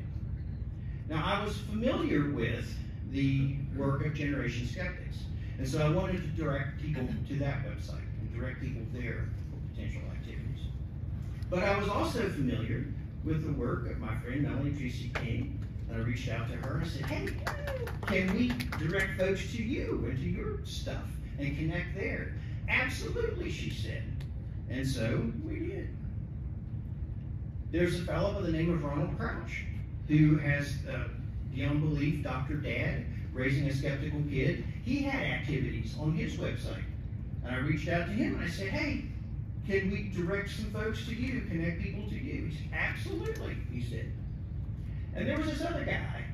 Um, I, his, um, his name escapes me at the present. But he had a, he had a movie or something about um, a UFO. yeah, that's it, Brian Dunning, who gave me permission to use this video. Um, he, I, I, reached out to Brian and I said, "Can we connect to your resources? Can we?" And yes, absolutely. and Brian even gave me permission to uh, make movie posters out of his graphics and for the specific universities that took place took part. And we actually had two universities in the state that did screenings of the UFO movie. So, so We got all of our sources together. And so our webmaster, Tim Vickers, created a web page on our, on our website. And what we did, we broke them up, sort of following the, the lead of the Generation Skeptics website. We broke them up by category, category developmentally. So we had a little description, and you know, looking for ways to celebrate Critical Thinking Day, look no further. Um, we had the descriptions of the activities, and we had them broken down by elementary school, by middle school, by high school, for universities and colleges, and for libraries, and then we had a category that was just for anyone. And so we wrote a little description, and then, then we had a, a button. People clicked on the button, and they were instantly transported to the Generation Skeptics or the Thinking is Power exercise, uh, and respectively all the rest for those activities. So we had things for people to do, right? Because there's all kinds of stuff out there. We were just to direct people to them. Now, after that happened, we started creating social media posts, getting information out about the day, things that we could do to promote. We also created flyers, handouts, things that we could actually print out and put into people's hands, or email them the PDF so that they could get that information. And then we started emailing, and we started making phone calls, and we started making contacts. And eventually, what happened? You may ask, but first, who did, who did you contact? Well, we looked at, we sent things to elementary schools, we sent things to high schools, universities, libraries. We contacted the news media, and I even went so far as to email some of our state delegates to get them involved and see if they would help to promote. We ended up getting a university involved, and they created a celebration at their institution. We sent stuff out to the news, uh, media, the, the local uh, television stations, radio, newspapers, so on and so forth. And lo and behold, the more we did, the more we actually, it was like a snowball effect. The, the more it was promoted, the more it got promoted. And this particular article, this last one, that is from the largest newspaper in our state, uh, the largest circulated newspaper in our state, and um, it actually has circulation in Ohio and Kentucky as well. So word got out, and in this little box, the, the specifically using the Bigfoot uh, notation of finding this is where you should look. Uh, the red, the red outline. Uh, this is a segment in one of our uh, state delegates' newsletters that she sent out to all the newspapers in the area that she covers, um, promoting Critical Thinking Awareness Day. And so, after that, it was born. Critical Thinking Day, Awareness Day happened. We had colleges, universities, and we had some schools that took part in it, and it happened. It was a thing. So, very good. So, hopefully you all are sitting back there in the audience, and you're thinking to yourself, self, how can I start a critical thinking awareness day in my state? At least I'm hoping that's what you're thinking. So, because that's what I would like for you to do. Um, I'm going to be perfectly honest with you. Getting a day proclaimed wasn't really that difficult. Now, shh, don't tell anyone. Another Dr. Reference. All right. How do you do it? You just ask. Many of the governors uh, uh, for the different states, the websites that they have, there's a place on the website that you just simply go to the governor's office and you fill out a request for proclamation. You put in the relevant information, you provide a little bit of background information on your day that you're wanting to proclaim, and you click submit, and it's done. Now, there are some rules, there's some regulations. So, for example, you can't request a day that has anything to do with a commercial venture. So you couldn't have a Nike Just Do It Day proclaimed. They, they would. And, you know, as much as I love my wife, um, our picture from last year, it's like, um, I could not say I would like an Anne Reed Appreciation Day as much as I do appreciate her. And she will kill me because she does not know that this photo is in this presentation. She will now. I'm sure it's being photographed and sent to her even as we speak. Nevertheless, so if you never see me again after this, you will know why. So, you can't do that. It can't be of a personal nature. It has to be something that is contributing to the overall good of society. And it has to be something that is of value that, that people, irrespective of whatever background that they might have, um, can celebrate. So, but if you are interested in doing that, the foundation is there. I wrote an article for the Skeptical Inquirer online that outlines and details the trials and tribulations that we went through in order to be able to make this thing a reality. Um, for example, uh, we go through when we talk about the steps that, or I go through and talk about the steps that we took. I go through and talk about the uh, the help that I had. Again, I, I point to Celestia. She taught me so much about writing a press release. Um, there's there's so many people that are so supportive of this, and I'm hoping that if you decide to do that, that the one thing that I ask of you is that you do it bigger and better than we did. Okay? That's my one request. Because honestly, it's not that difficult to get it, and the foundation is there. We are working on making it bigger and better this year. I have been doing a number of presentations over the course of our, over the, our state on everything from curious about cryptids to investigating ghostly claims. I did a presentation at the a career technical education um, workshop for CTE administrators to spread the word about in, in critical thinking, teaching critical thinking in CTE courses. And of course, I'm here talking about it as well, trying to promote the idea of celebrating Critical Thinking Awareness Day. So, if you are interested, we have more libraries this year that's going to be participating. I actually, through the one meeting, through the CTE Administrators um, Conference, I was able to make connections and get the West Virginia State Department of Education uh, involved, asking them for their assistance, and they've agreed to help promote the day. They have to be careful uh, because of you know government sorts of stuff, but they said they would gladly help us get the word out.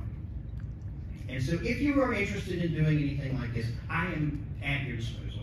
So here's my contact information. Uh, there's the, the article for the Skeptical Inquirer magazine. There's my personal uh, webpage. There is our West Virginia Skeptic Society Facebook page and my email address. If I can be of assistance to any of you in, in helping you get a day started in your state, I am at your service.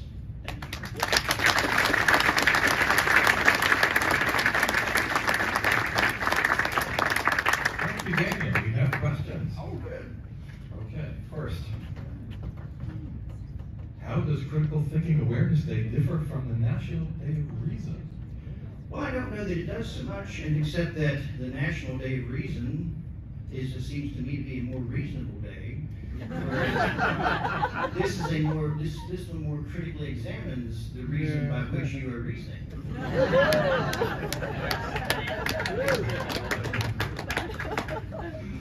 Okay, so this was a very generic, open-ended question. I'll try to narrow a little bit because it says basically in the universe. No, is the day procl- proclamation only valid for each state? Can it be proclaimed, let's say, nationally?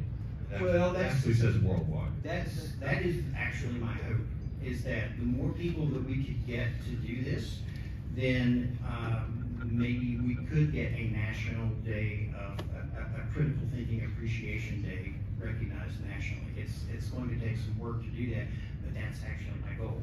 Um, that's why I'm here talking to you all, uh, is to hopefully make that a reality.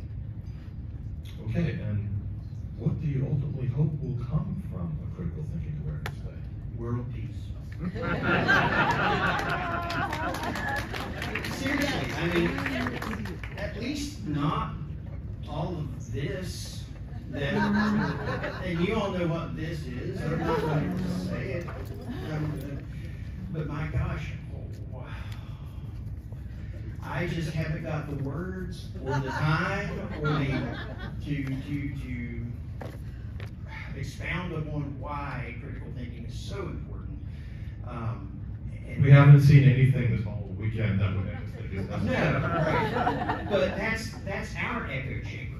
And hopefully this takes it out into the world where, I'm telling you, when, when some of the students that I've spoken to, when they have engaged in these activities, some of the teachers that have engaged in these activities with students, they love it. They love these things. They, and it really, I have had people come up to me and say, you know, I hadn't thought about that that way before.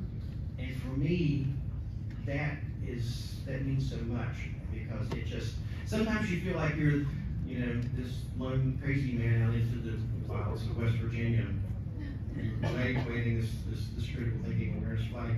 Then you have somebody come up and say, you know, actually I'm thinking about things a little differently because of something you said.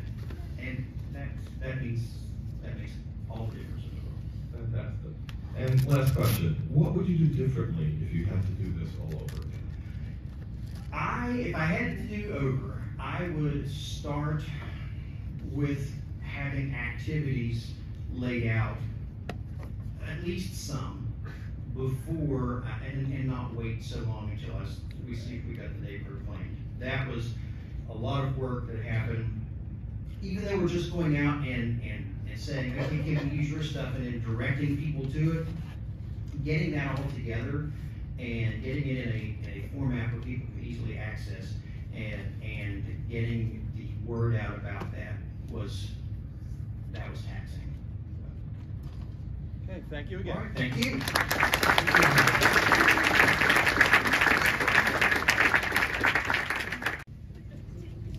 Okay, I am going to introduce our fifth speaker, Bruce Brenz. His topic is In Search of Skepticism in Science Museum. And Bruce studied high energy physics, another physicist, fantastic, at the University of Wisconsin-Madison, receiving his PhD in 95. Following his postdoctoral research at Cornell University, Dr. Burns became a research scientist at CNA, the U.S. Navy's federally funded research and development corporation, where he provides evidence-based advice to military leaders. Welcome.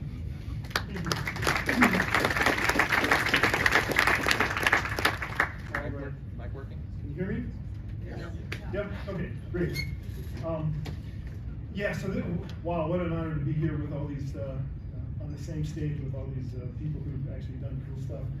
Um, So, so I'm gonna talk to you about, um, skepticism in science museums. And, um, I'm gonna start out with an anecdote, uh, which is that this, um, this spring, my family and I, we went to Chicago. We went to the Field Museum in Chicago to, uh, it was for spring break, and so we, uh, we, they had this exhibit there called Bloodsuckers, Legends to Leeches. And the exhibit talked about mosquitoes and biting flies and ticks and vampire bats and leeches, of course. Um, it also had, uh, it had uh, exhibits about uh, bloodletting and the history of barbershops. And it had uh, a lot of um, popular culture stuff about vampires. Um, pretty interesting exhibit. One of the other exhibits that it had was about a chupacabra. Hey. And um, so, so this is one of the exhibit panels that it had, and it shows the newspaper clipping of um, of the uh, the newspaper where the chupacabra was first described. Uh, this woman, Madeline Tolentino, uh, was an eyewitness to uh, this creature. You can see the little picture of the creature um, in in the article there. And it, and in addition to this, they also had oops, wrong way. They also had this model of a chupacabra. you can see it's a, a little bit different from the other creature, and that was kind of their point. Um, let me read to you what it says on the panel. It said in Puerto Rico in 1995, residents found farm animals drained blood. with no apparent explanation for such a terrifying loss of livestock, a report blamed a newly conceived creature called El Chupacabra, literally goat sucker in Spanish. The creature was described and illustrated on the front page of a newspaper and the story spread. Alleged sightings occurred across the nation and into Mexico and the southern United States. and since then, hysteria has spread and the blood-sucking chupacabra is now depicted in both fantastical and frightening ways quite different from its original description. So that's what they said about, about the chupacabra. That was it. That was the end of it. Um, you can see it, this kind of looks like a hairless uh, dog with spikes coming out of its back. Um, what they didn't say was that Benjamin Radford wrote an entire book about the chupacabra. Um, and, and, you know, as we talked about yesterday, what, what isn't said is also often important. And um, so what they left out from his book is that um, this creature in the movie Species is very similar, surprisingly similar to the description, the eyewitness description of the woman. Um, and oh, by the way, she saw the movie a few weeks before um, she described the creature. So, so it's pretty likely that she got the idea for the chupacabra, the, the uh, creature on the left, on the left there, um, from the movie. And so I think that it would have been it would have been great if the museum had had a, a model uh, statue like I've, I've uh, used AI to draw, which isn't very good um, model of the actual creature from the movie species, but you get the idea. Um, if they had had that and said, hey, this is this is the model of, this is a model of the creature from the movie, what do you think? Does it look like the, the creature that she described originally? So I think it was a missed opportunity to teach skepticism. Okay, so now I'm getting to the, the heart of my talk. Our science museum is skeptical. Um, I think, uh, how, so how, how would we address this question? Well, and, and you see here that um, I wasn't fool- foolish enough to put my wife in the slide. so my, my original plan was to do content analysis of museum exhibits. And content analysis is a term of art in um, media analysis and things like that. And what it means is that you take some text and you analyze the content. Um, so you personally, so my plan was to personally visit a large number of science museums and photograph the exhibit panels, kind of like I did um, for, for the museum ones that you saw here. And then assess each of these panels as either factual, um, skeptical, or uncritical or prejudiced. So I went to the National Museum of Natural History and I took about 600 photographs. And each, each exhibit panel has an average of about 100 words on it. On it. So yesterday I bought this book in the, in the, um, in the bookstore and I analyzed how many words are in that book. It's about 90 to 100,000. So 60 60,000 words just from the 600 pictures that I took at the museum. So that's a lot of text to analyze. So I decided that this was a lot of work and I was going to put that off. and so I, I, came up with a second um, idea. Uh, so do a few of these content analysis efforts, but um, start off with hit count of skeptical words on museum websites. And so hit count is also a term of art. Um, you you do use it for various. Uh, you can look it up anyway. Um, so, so um, what I did was I, if you take the, the term, the keyword site, colon, and the name of the website name, um, Google will return all of the pages that match that search, which is all of the pages for that website. So in this example, in the, in the um, at the bottom I have uh. It says there's about 10,300 Skeptical Inquirer pages. And then on, on, the top, I have skepticism and that search. So this is how many um, how many pages of skepticalinquirer.org match the term skepticism. And it's not in quotes, so it also includes skeptical and skeptic. So of course, all of them do because skeptic, skeptical inquirer, skeptical is in the title, and, and so it's on every page. Okay, so, um, but I define that as a skepticism fraction, and, and it comes out to be essentially one you can do this for other websites. And so if you look at various websites. So in this, in this graph, I've got on the y-axis, my skepticism fraction, and on the x-axis, I've just got jitter to spread the points out so you can see where they fall. Um, Skeptical Inquirer and skeptic.com are right up at one because it's in the name. Um, RichardDawkins.net is about 0.8. The New England Skeptical Society is about uh, 0.6. Skeptic and, and Science-Based Medicine are right at about 0.4. And these, these numbers bounce around depending on when you do it, but you can, you can try it out yourself um, this afternoon at the airport. um, okay, so what if you what if you look at science magazines? Um, so uh, so the one uh, so I've got Quanta Magazine, Wired, Science Magazine, Ars Technica, that sort of thing. You can see that the one in the middle there, the green dot that's the highest, that's Quanta Magazine at about 0.09, 9%. Um, and then Wired is down at 0.3. Point is that they, they, there's a separation here between the skeptical websites and the science websites. All right, so what about science, uh, I mean, what about science um, museum websites? Well, they're all right down there along near zero. There's one exception that stands out a little, a little bit, the California Science Center. Um, it, it had a couple of articles about COVID-19 and anti-vax, anti-vax stuff.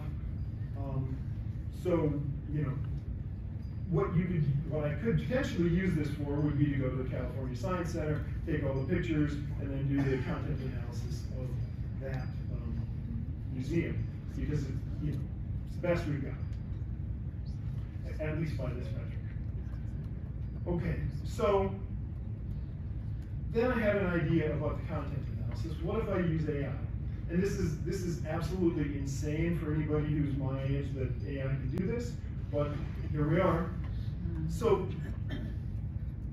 do the same thing, but go go photograph the exhibits, um, then feed the, the photos into GPT-4o, um, and, and I did it in two parts. I had it I had to transcribe the photos into text, and then take the text and analyze it to see if it um, was skeptical, factual, or um, uncredible or credulous. I actually had two different um, prompts for it so that I could um, double check the results and then also manually spot check the results. And I'll show you, I'll show you now what we came up with. Uh, first, I'll give you some examples. So these are uncritical or credulous examples from the museum panels. And the first one is the chupacabra. I'll read you what GPT-4o said. This panel heavily leans on the sensational and speculative language associated with the chupacabra myth. It emphasizes the mysterious nature of the creature and its alleged sightings without scrutinizing or questioning the validity of these claims. The panel also includes an unverified personal account that adds to the mythical portrayal of the chupacabra. So, pretty good.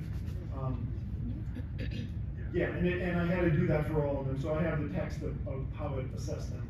Here's a couple more. So on the left is is a cartoon of um, some fish that live in the twilight zone. The twilight zone is not so deep that it's always dark, but not too close to the surface. Um, and so I think maybe the term twilight zone is something that caught GPT-4o's eye.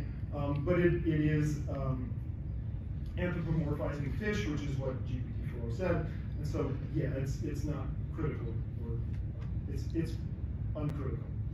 And then the last one here is the um, optical illusions. We talked a lot about optical illusions yesterday, and um, this one is it looks like Einstein if you're close, and looks like Marilyn Monroe when you're farther away. But um, and, and what GPT-4o said about it is that the panel encourages an optical illusion without explaining the scientific basis behind it, etc. Um, and, and I think that this is really important because a lot of museums have um, optical illusions, you know, these lines, they, they look crooked to us, why is that? Um, this dress is, is it white or is it blue? Um, and what they don't get into is the fact that our minds are doing this all the time, right? I mean, we're, it seems like it's some oddity that, oh, oh look at this, isn't this weird? But really, our minds are doing this all the time, and, and people don't realize that, that this is not an odd. What's odd is that we realize that our minds are doing this. Um, in the optical illusion. Okay, so, so getting to the skeptical museum panels, um, there were a couple here. How giant is the giant squid? I'm not really convinced about that one, but it, it, GPT-4o said it encouraged critical thinking. Uh, the one on the left is impossible to read, but it talks about it talks about um, whether or not meat made humans um, drove the size of human brains, and there was a, a scientific controversy about that. And so, yeah, it's it's it's uh, critical thinking. It's it's a scientific controversy that was resolved. Uh, racist or not racist? This one is interesting because it uh, ties back into Neil deGrasse Tyson's speech. Um, the Field Museum in Chicago had uh, some sculptures, and they had a, a, racist exhibit back in the 30s. Um, but they, you know, they took out the racist stuff and kept the, the, the um, statues, and they were asking whether the statues themselves were racist, um, kind of like what Neil was talking about. Um, okay, critical thinking, I guess. The, the next one here is about whether or not this, um, this parasite aquatic parasite was the basis of the, the creature in the movie Alien. Um, again, I think maybe the, the, word alien tipped it off. Um, but but um, it, you know, you, there's some critical thinking there, I guess. And then the last one is eating garlic doesn't um, doesn't discourage biting flies, and, and eating um, bananas doesn't repel mosquitoes. Uh, ultrasonic pest repellers don't work. Right, that is that is an actual, honest to God, skeptical um, exhibit. Okay, so here are the results that I got when I ran the whole thing. I did 1,405 exhibit panels. Um, I went to five different museums, including uh, one in Mainz, Germany, when I happened to be there, uh, Chicago Field Museum, the Udvar-Hazy Air and Space Museum, National Museum of Natural History and the Franklin Institute. I went to the Franklin Institute because when I had done the analysis a little bit different way, that one came up as kind of, um, the hit count analysis, that one came up as, as maybe um, worth going to. In any case, five pounds were assessed as skeptical and 13 were assessed as uncritical or credulous. All the rest were factual. Okay, so, um, in summary, the science museums I visited contained essentially no skeptical content uncritical and credulous panels were more common than the skeptical ones, and none of the 54 museums' websites suggested that uh, they were skeptical. So that, so I think we need a uh, museum dedicated to science and skepticism. Um, so I founded Baird Science Museum. Um, the idea is that it would be a, a, museum of science and skepticism that teaches critical thinking and scientific method through exhibits about pseudoscience and paranormal.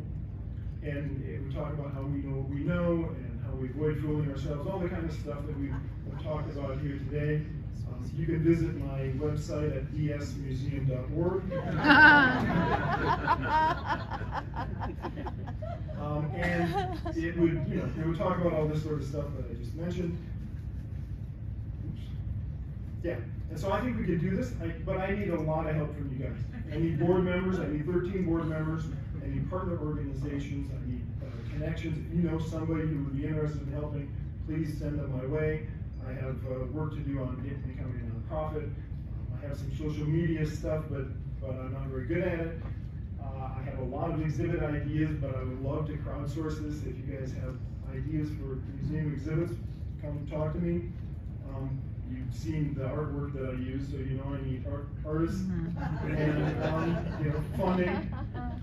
Um, yeah, you can contact me at bairdscience.outlook.com or museum, come to the dsmuseum.org. I just put all my slides up on the website so you can peruse if you want um, at your leisure. And then um, just to give my little disclaimer here, um, um, so this is all my opinion. It's not the opinion of the Center for Naval Analyses or the U.S. Navy. And also, um, I'm not trying to disparage any museums. They have their own um, boards of directors and their own mission statements. Right? They're doing the best that they can do. Their focus isn't skepticism, so they're not as skeptical as we might want. That's it.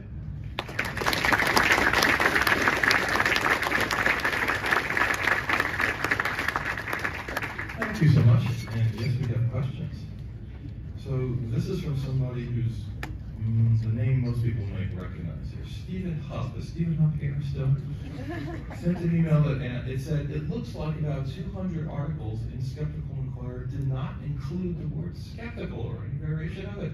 And he wants to know if you could send him, uh, what the name of those articles are. Yeah, I think, so I think, uh, Google, ru- that's running error. So, on a more serious note, we have a, a question from uh, the data skeptic, Kyle Polich, who's here. And he said, have you thought about turning your method into a formal score? No one wants to win a Bent Spoon Award, or as when I showed this question to Celestia, she decided it should be named Tabloid Museum Award. So, she said, I hope museums would not want low scores and to get that, uh, that award. What do you think? I have never thought of that before, but that's, yeah, that's an interesting idea, yeah. Contact me. Okay, have you considered developing an exhibit or exhibits for an existing museum instead of creating a new one? Yeah, so that, and a number of people have suggested that, that's, that's a good idea as well. Um, interestingly, the, the Bloodsuckers exhibit is a traveling exhibit. It's, it's no longer in Chicago, it's moving to somewhere else. You can see the whole thing online, um, there's like a three D view of it, uh, although you don't get to see all the exhibit panels in detail. Um, so, yeah, I mean, that, that's, a- that's something that I, I thought about. And how did you determine which search term was best to be used for your hit counter? Use the word skepticism. Did you try or consider using anything else?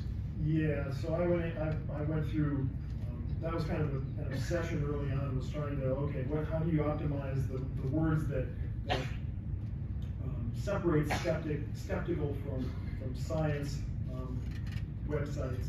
And I put a lot of effort into that, and Rob was like, can you explain this to the audience? And I'm like, you know, I bet the word skepticism would probably work just about as well, and it did, so I just. All right, that's the last question. Thank you so much.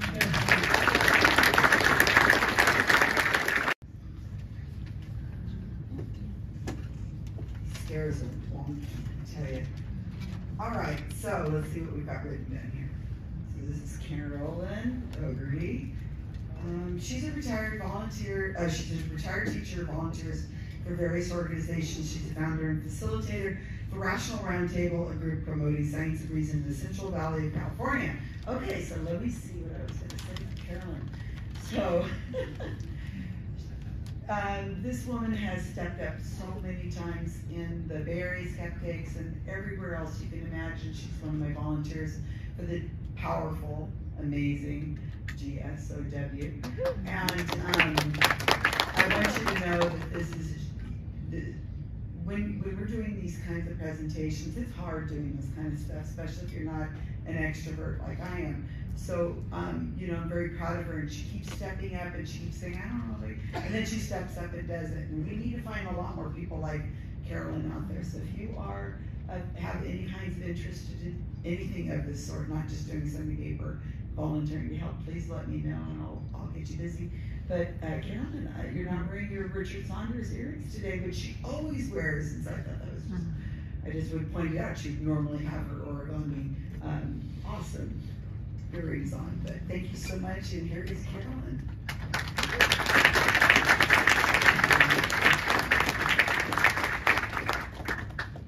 Thank you. Um, it's an honor just to be up here with all these other speakers and being a part of Sunday Papers. And I want to thank Susan and Rob for their encouragement and help, and Adrian Hill, thank you so much. And I also want to thank some people in the audience who are my other family, social trivia group. So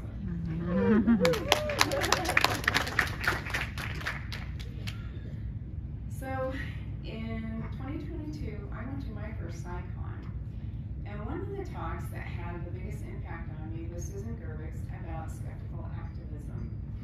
It really motivated me to become more active in skepticism. So in 2023, with the help of David Diskin, who's the president of California Free Thought Day, I founded a subgroup of the Stockton area atheists and freethinkers called Rational Roundtable. We meet in person every other month to discuss our favorite books, podcasts, articles, topics related to skepticism. We also participate in community events, and we sometimes take fun field trips. And this spring, we are doing our first Skeptic Camp. Our mission, though, is to promote critical thinking in the greater community. So whether that's just our friends, our family, our coworkers, gym buddy, book club, whoever. So to lead by example, I contacted an organiza organization that I volunteered for, which is OLLI at the University of Pacific. It's part of the Osher Lifelong Learning Institute, and it's held at my alma mater where I got my, my BA, my teaching credentials. And I offered to facilitate a workshop based on Susan Gerbic's Creating Conversations.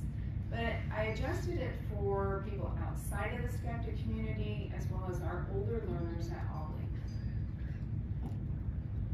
And by the way, when I was asked to join the curriculum committee at OLLI Pacific, I did so with an agenda to recommend more topics and speakers relating to science and reason. And, um, uh-oh, I missed something. I, um, there were a lot of various resources that I drew from for this workshop. During 2020, I was already a subscriber to Skeptical Inquirer, and then I started watching Skeptical Inquirer Presents. And I read a lot of the books by the writers and presenters to try to make sense of why so many people I knew were falling for misinformation and what could be done about it. And I want to give a huge, big shout out to Melanie Teresa King for allowing me to use huge power graphics my workshop and for all the awesome work that she does. So the main goal was for the participants to gain strategies, have constructive conversations, and help their friends build their critical thinking in a collaborative manner. I introduced myself as a former ghost hunter, not to copy Kenny Biddle, but so that participants would recognize elements from my story of oops, why people believe weird things, why they cling to those beliefs, but also that a person can change a lifelong belief. I chose this graphic to introduce the mindset that we're going for. I knew that that last part, viewing the situation as a learning opportunity, would resonate with our OLLI members because a lot of them are retired administrators and educators. So, the first objective was just to identify what I meant about misinformation. So I chose this graphic to explain that misinformation is often just unintentional, like a, a friend sharing a meme or an email that has false information. Whereas disinformation is a deliberate attempt to deceive and or, or even just create uncertainty and undermine experts. Malinformation is based on the truth, but it's manipulated, often out of context, again, to deceive. The next objective was to explain why constructive conversations are so important. Some experts in social and political science are concerned about what the effects this increased polarization has on our society and even our democracy. Studies suggest that constructive conversations, instead of combative debates and debunking alone, might be more effective and even help build bridges in our communities. I discussed the rise of social media influencers spreading misinformation and how contact farms like fake news sites are generating disinformation and are actually sowing distrust in institutions and experts in fields like science, health, and even higher education. I gave a real life example of how debunking and sharing facts and links doesn't always work. And this is from the next door Neighbor app. And um, a neighbor wanted to know what these old thingies were showing up on. And um, because she didn't share a picture, I grabbed this off of Wikipedia to show the participants what the neighbor was talking about. I told the participants that even after several people told the neighbor that orbs are airborne dust and moisture, and I even posted links to Wikipedia and Skeptical Inquirer explaining about these camera artifacts, just one person said they were spirits, so that's what the neighbor went with because that's what she wanted to hear. The next objective um, was to review critical thinking. Um, and I gave them critical thinking uh, skills so the group could recognize flaws in their own thinking, but also in their friends' claims. This part I spent more as an overview, um, and I included material sources and handouts so the participants could review it and learn on their own. I used fun, relatable examples. Um, I, we're located in Northern California, so we're pretty familiar with Bigfoot stories. So I use this to explain the difference between these terms, and which gullible just means that you accept a claim without any evidence, and being a cynic is you just you dismiss it again without any evidence. But a skeptic, of course, as we all know, we either accept or dismiss, dismiss a claim based on the strength of, the, of the evidence using critical thinking. And more importantly, skeptics are open to changing their minds based on new and better evidence. I also reviewed some common logical fallacies for participants to be aware of, um, including these like appeal to emotions. It was important to explain to them that fear and anger actually equals more engagement online, and it fuels misinformation. Um, also on the burden of proof, fallacy, how many times have we said, can, you know, can you show me where you got this, and well, go do your own research. And of course, the burden is on the person making the claim to give us the source of their information. And then we're all familiar with ad hominem attacks. Um, usually when there's a lack of a convincing argument, they just devolve into name calling. I introduced the four techniques of science denial, which is reliance on fake experts as well as denigration of real experts, logical fallacies, which we just covered, setting impossible um, expectations for science, cherry picking, and conspiracy theories, which are extremely problematic because of how believers rationalize away evidence that might challenge their beliefs. And then there's usually a nefarious them and um, you know some insidious cover-up, right? I also discussed how our beliefs are based on our identity, our identity, ideology, experience, and expectations, and I emphasize that even smart, educated people can fall for misinformation and even conspiracy theories. They're everywhere. I also discussed more factors that can contribute to denial and conspiracy theories for them to be aware of, such as fear of alienation from our tribes, especially if they make us feel important or like we have secret knowledge. Also uncertainty. When there's a lack of information, our brains try to fill in gaps so um, to try to make sense of that situation. And of course, research also shows that trauma and loss can also contribute to our susceptibility to believing conspiracy. I shared the CRAAP test that all of us, or many of us, learned in school, but I added lateral reading, or yeah, lateral reading in which you open multiple tabs at the same time to fact check the source and the information. I gave them good fact, fact checking resources and I explained to them that reputable news outlets like um, Associated Press and NPR now have fact checking sections. And I showed this to reiterate why good thinking tools are necessary for us to have constructive conversations. So the next objective was just to introduce the, uh, the conversation techniques. I gave a brief introduction to street epistemology, which is a way for others to reflect on their own reasoning uh, for civil conversations and, and rather than confrontational debates. And I just want to touch on something that I heard yesterday, and there is a difference between being polite and being civil. Polite is more superficial, um, and sometimes it, the person might be quiet or even agree with the other side just for nicey nice, right? But you can have civil arguments and civil debates. So I use the News Literacy Project's version of Pep Talk strategy. It's catchy, it's easy to remember, and it stands for patience, empathy, and persistence.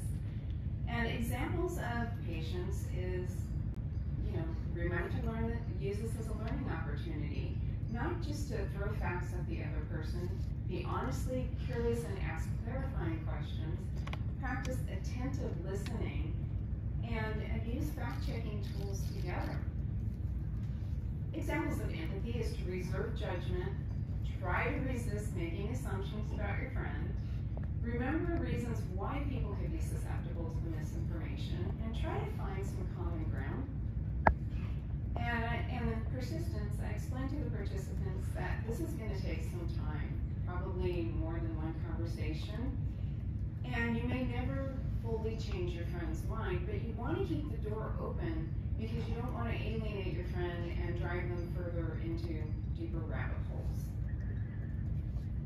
And final uh, objective was active participation. So I had the participants get into small teams, and they started out with this thought uh, experiment from Thinking is Power. It was awesome to see their facial expressions with that last questions. How would you feel if you were wrong?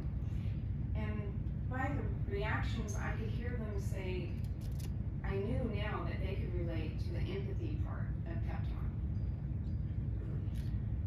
I then asked teams to brainstorm how they could use the steps in pep talk in real conversations with some prompts from me. Comments included, you know, being more mindful of body language, um, not to offer just advice and criticisms, but instead ask a lot of questions, know when to back off or even end the conversation, and how to tactfully ask to see a source of information, as well as being able to tactfully offer to give a link to a different view. And of course, thank your friend for the discussion. I then had my teams brainstorm how I could have used pep talk steps with the neighbor who posted the question about orbs. One suggestion was just to ask, well, what do you think they are? Another asked, since you asked for expl explanations, why do you keep dismissing them? But another participant recommended changing that to, why do you think you are dismissing the other explanations? I chose a relatively non-controversial scenario for the teams to work out on their own, which was a friend recently lost their spouse and is emotionally and financially vulnerable, and they say they want to go to a gallery reading of a famous psychic that they saw on TV in hopes of getting some closure. And of course, everybody got a kick remembering our friend Karnak. And to save some time, in place of them researching, I gave them background information to consider about psychics, such as gallery readings can be very expensive, and only a few participants actually get readings. And also, we, as many of us know, psychics use hot and cold reading techniques to seem like they have knowledge that they couldn't possibly know. And some psychologists actually suggest that going to a psychic can disrupt the grieving process. So the teams got back together and into one group and they shared with everyone how they would have used the steps with a given scenario with their friend.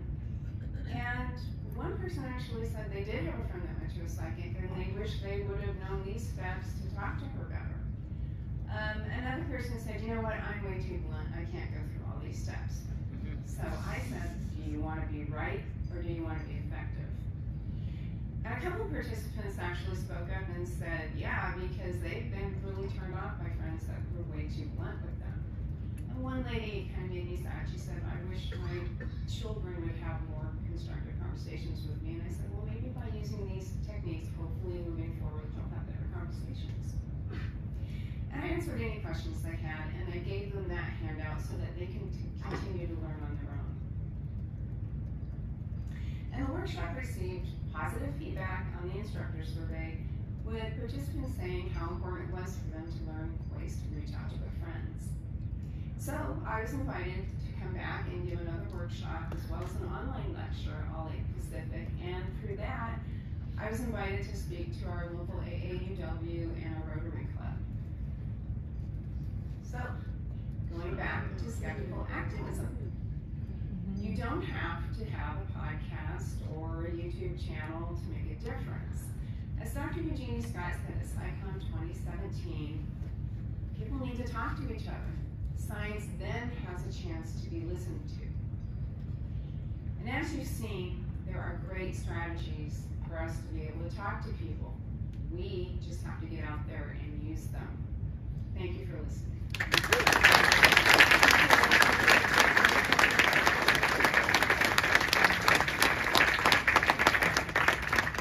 Thank you so much.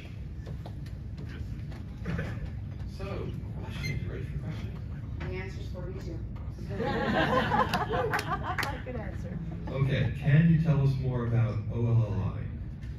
So OLLI is part of the Osher Lifelong in Living, Lifelong Learning Institute.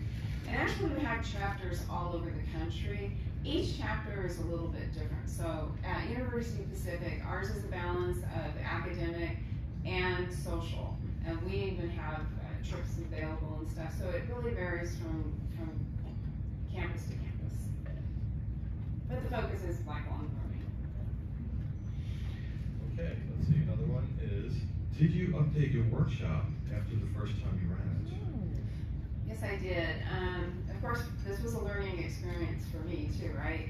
Um, so actually our committee at OLLI, we decided to, our planning committee, we wanted to include climate change in our curriculum because um, denial is obviously a problem.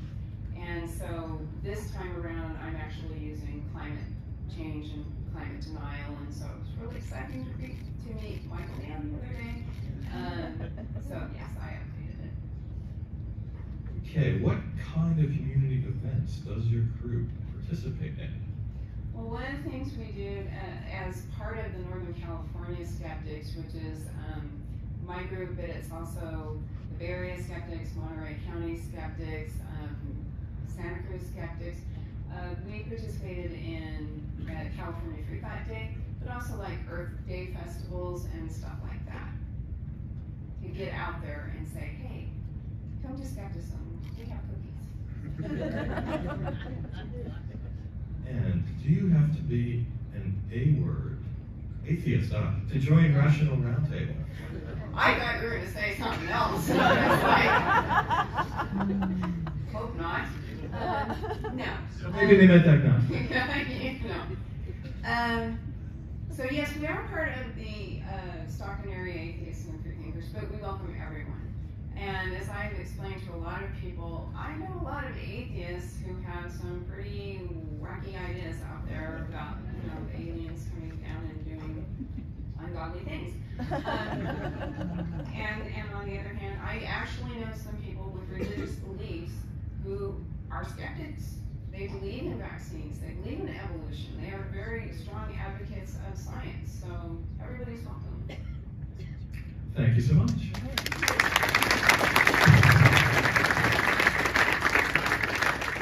This is the end of the Sunday paper. Susan is going to come up here and say some closing words in recognition that this is the final event of the conference. I, I just don't get it. They're, they all went home and we're still here and I don't get that they're allowing Mark, that uh, allowing Rob and I to close the conference. Well, we have how much time left? Um, so can you, can you uh, cue up Ave Maria, a- a- any version, or maybe a few versions?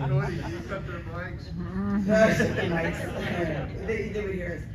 So, um, just a few, a few points that I just want to sum up with. Everybody's gonna have to go home early, so that's fine. I really, really, really appreciate you guys coming to CSICon. Um, that is a form of skeptical activism is showing up. And showing up for the Sunday papers is extremely important because we have amazing talks right now. These are people who have not had a lot of practice speaking on these topics like you normally see on the stage at CSICon. And it was a hard process to whittle it down to these six. And then the process going through uh, Rob and I going and no, I want to, I want this. I mean, we got down to the slides like I want the I want the pictures separated. I want names underneath the slides. You know, it's just piddly stuff that I do on Wikipedia. But I, I, I was really pleased. You guys did a fa- fabulous job. You made me very proud. And I really appreciate everything you did. That. Um, I want to thank CSICon and all of the people of CSICon that gave us a voluntold Rob and I to do this. Um, Natalia and uh, Ray Hall have always done a great job. Ray Hall specifically has done this for years, and we had to move on to Rubicon, and I guess it's why they defaulted to Rob and I, and I uh, appreciate the trust they I give know us. why they picked you, just because you're such an energizer buddy and you're involved in everything. And they only picked me so I didn't do a fifth talk in a row. Yeah, that's probably If true. I could've- if I could've picked myself, that would be. Uh, that's true, but, um, they've been. That's why, here we go. Oh, is it Javi Maria? So, we're Javi, um, and we're Maria. But the, but the thing is, is that, um, this is such a wonderful organization, and, uh, I, tend to lean more to the CSICOP side, I, I still wanna call it CSICOP. Uh, Cody was just freaking amazing, anything I asked for, we were, were given, it was wonderful, the, um, help they were able to do, they allowed our team to come up here when you guys went to lunch, and just to walk on the stage and click the buttons and see what it looks like, it's, it can be pretty terrifying for people to do this. And we are looking for more people who want to be able not only do Sunday papers, but all kinds of activities, as you can see, that our people were able to do, and it's important to be able to do that. Rob, do you have anything that you, any organizations or stuff that maybe, like, where can we find your work? Well, so one of the things I've been doing the last several CSICons is doing pre-conference interviews of the speakers, and they talk a little bit about what they're gonna talk about at CSICon, but they also talk about their background. I tried to keep them to a half hour long. I did Neil deGrasse Tyson and uh, Simons this year amongst uh, Rafael Arena. So you can find those on the, the page on the uh, YouTube channel for CSI.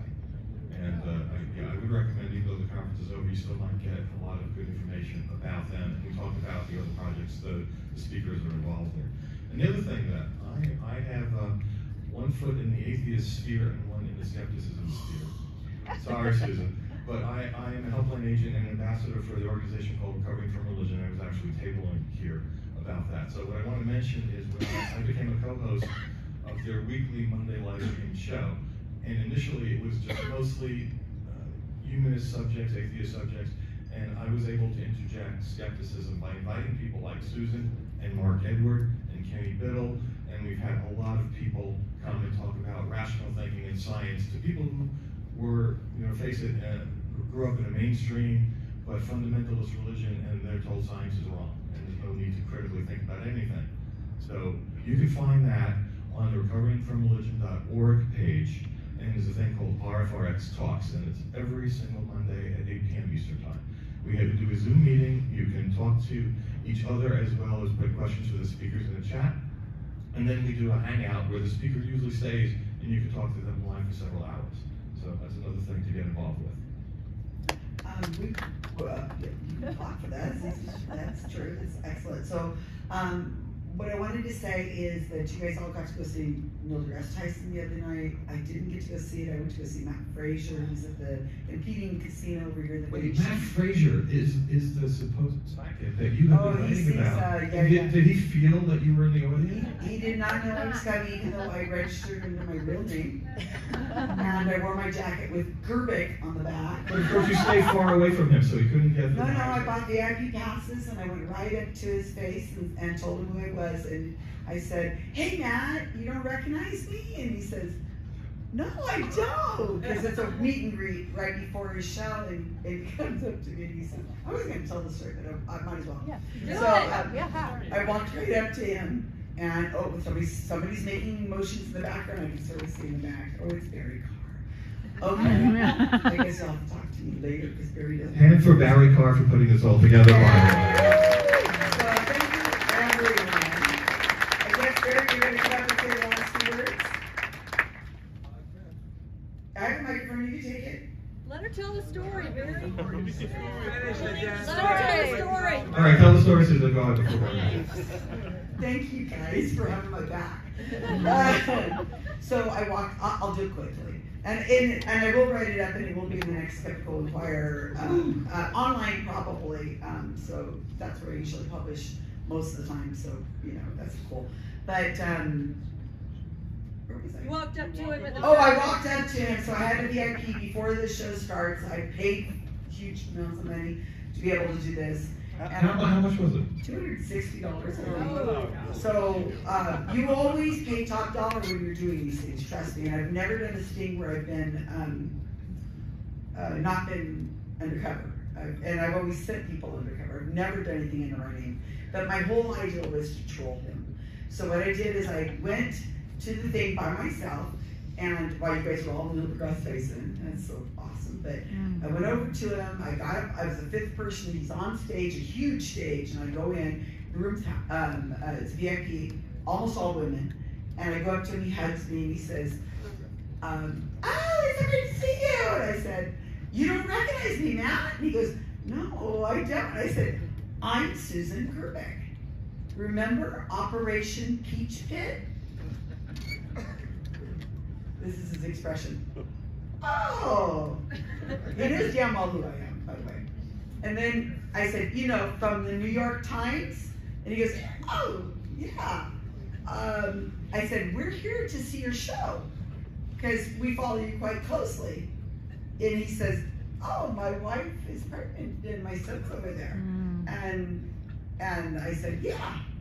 So we're here to see your show and, and see what you've been up to. So Susan, why do you think he deflected that way and went to the personal topic? I think he was just trying. I I think I really. He was just his mind was going. No, no, no. You know what he was doing? He, he realized, and he said he was basically, "Don't ruin my life. Don't ruin my family. Don't embarrass me in front of my embarrass family." Don't take my I living think I think I think he was thinking quickly and that he just defaulted to something like you know you know.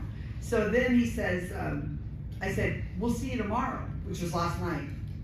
We didn't go, but he doesn't know. He's not psychic. So I just said, so I just said, okay, we'll see, we will see you tomorrow. And then I, and he said, thanks for supporting the show. And so I walked off and I sat like about where Adrian is to me right now with, with a, uh, a bright red notebook and pencil and, and sat there stoically, um, front center and took notes through the whole thing. I took tons of notes, and I just stared him down, and he kept sneaking peeks at me. And I stared him down. All the readings he did were in the way in the back, and um, and all through. And I, I'm, I'm almost done, Barry. I promise. I can't see but I, I promise. But what I said is the whole time I was just kind of like during the show, I was kind of like looking off to the it's like like going like this to people. And smiling. And then when we left, so he gets off the stage, the place is half full, half empty. So I go, he gets off the stage, bye everybody. People like, woo, cry, cry, oh, bye, Matt, whatever. So he goes off the stage. I'm just assuming he's still watching from the back.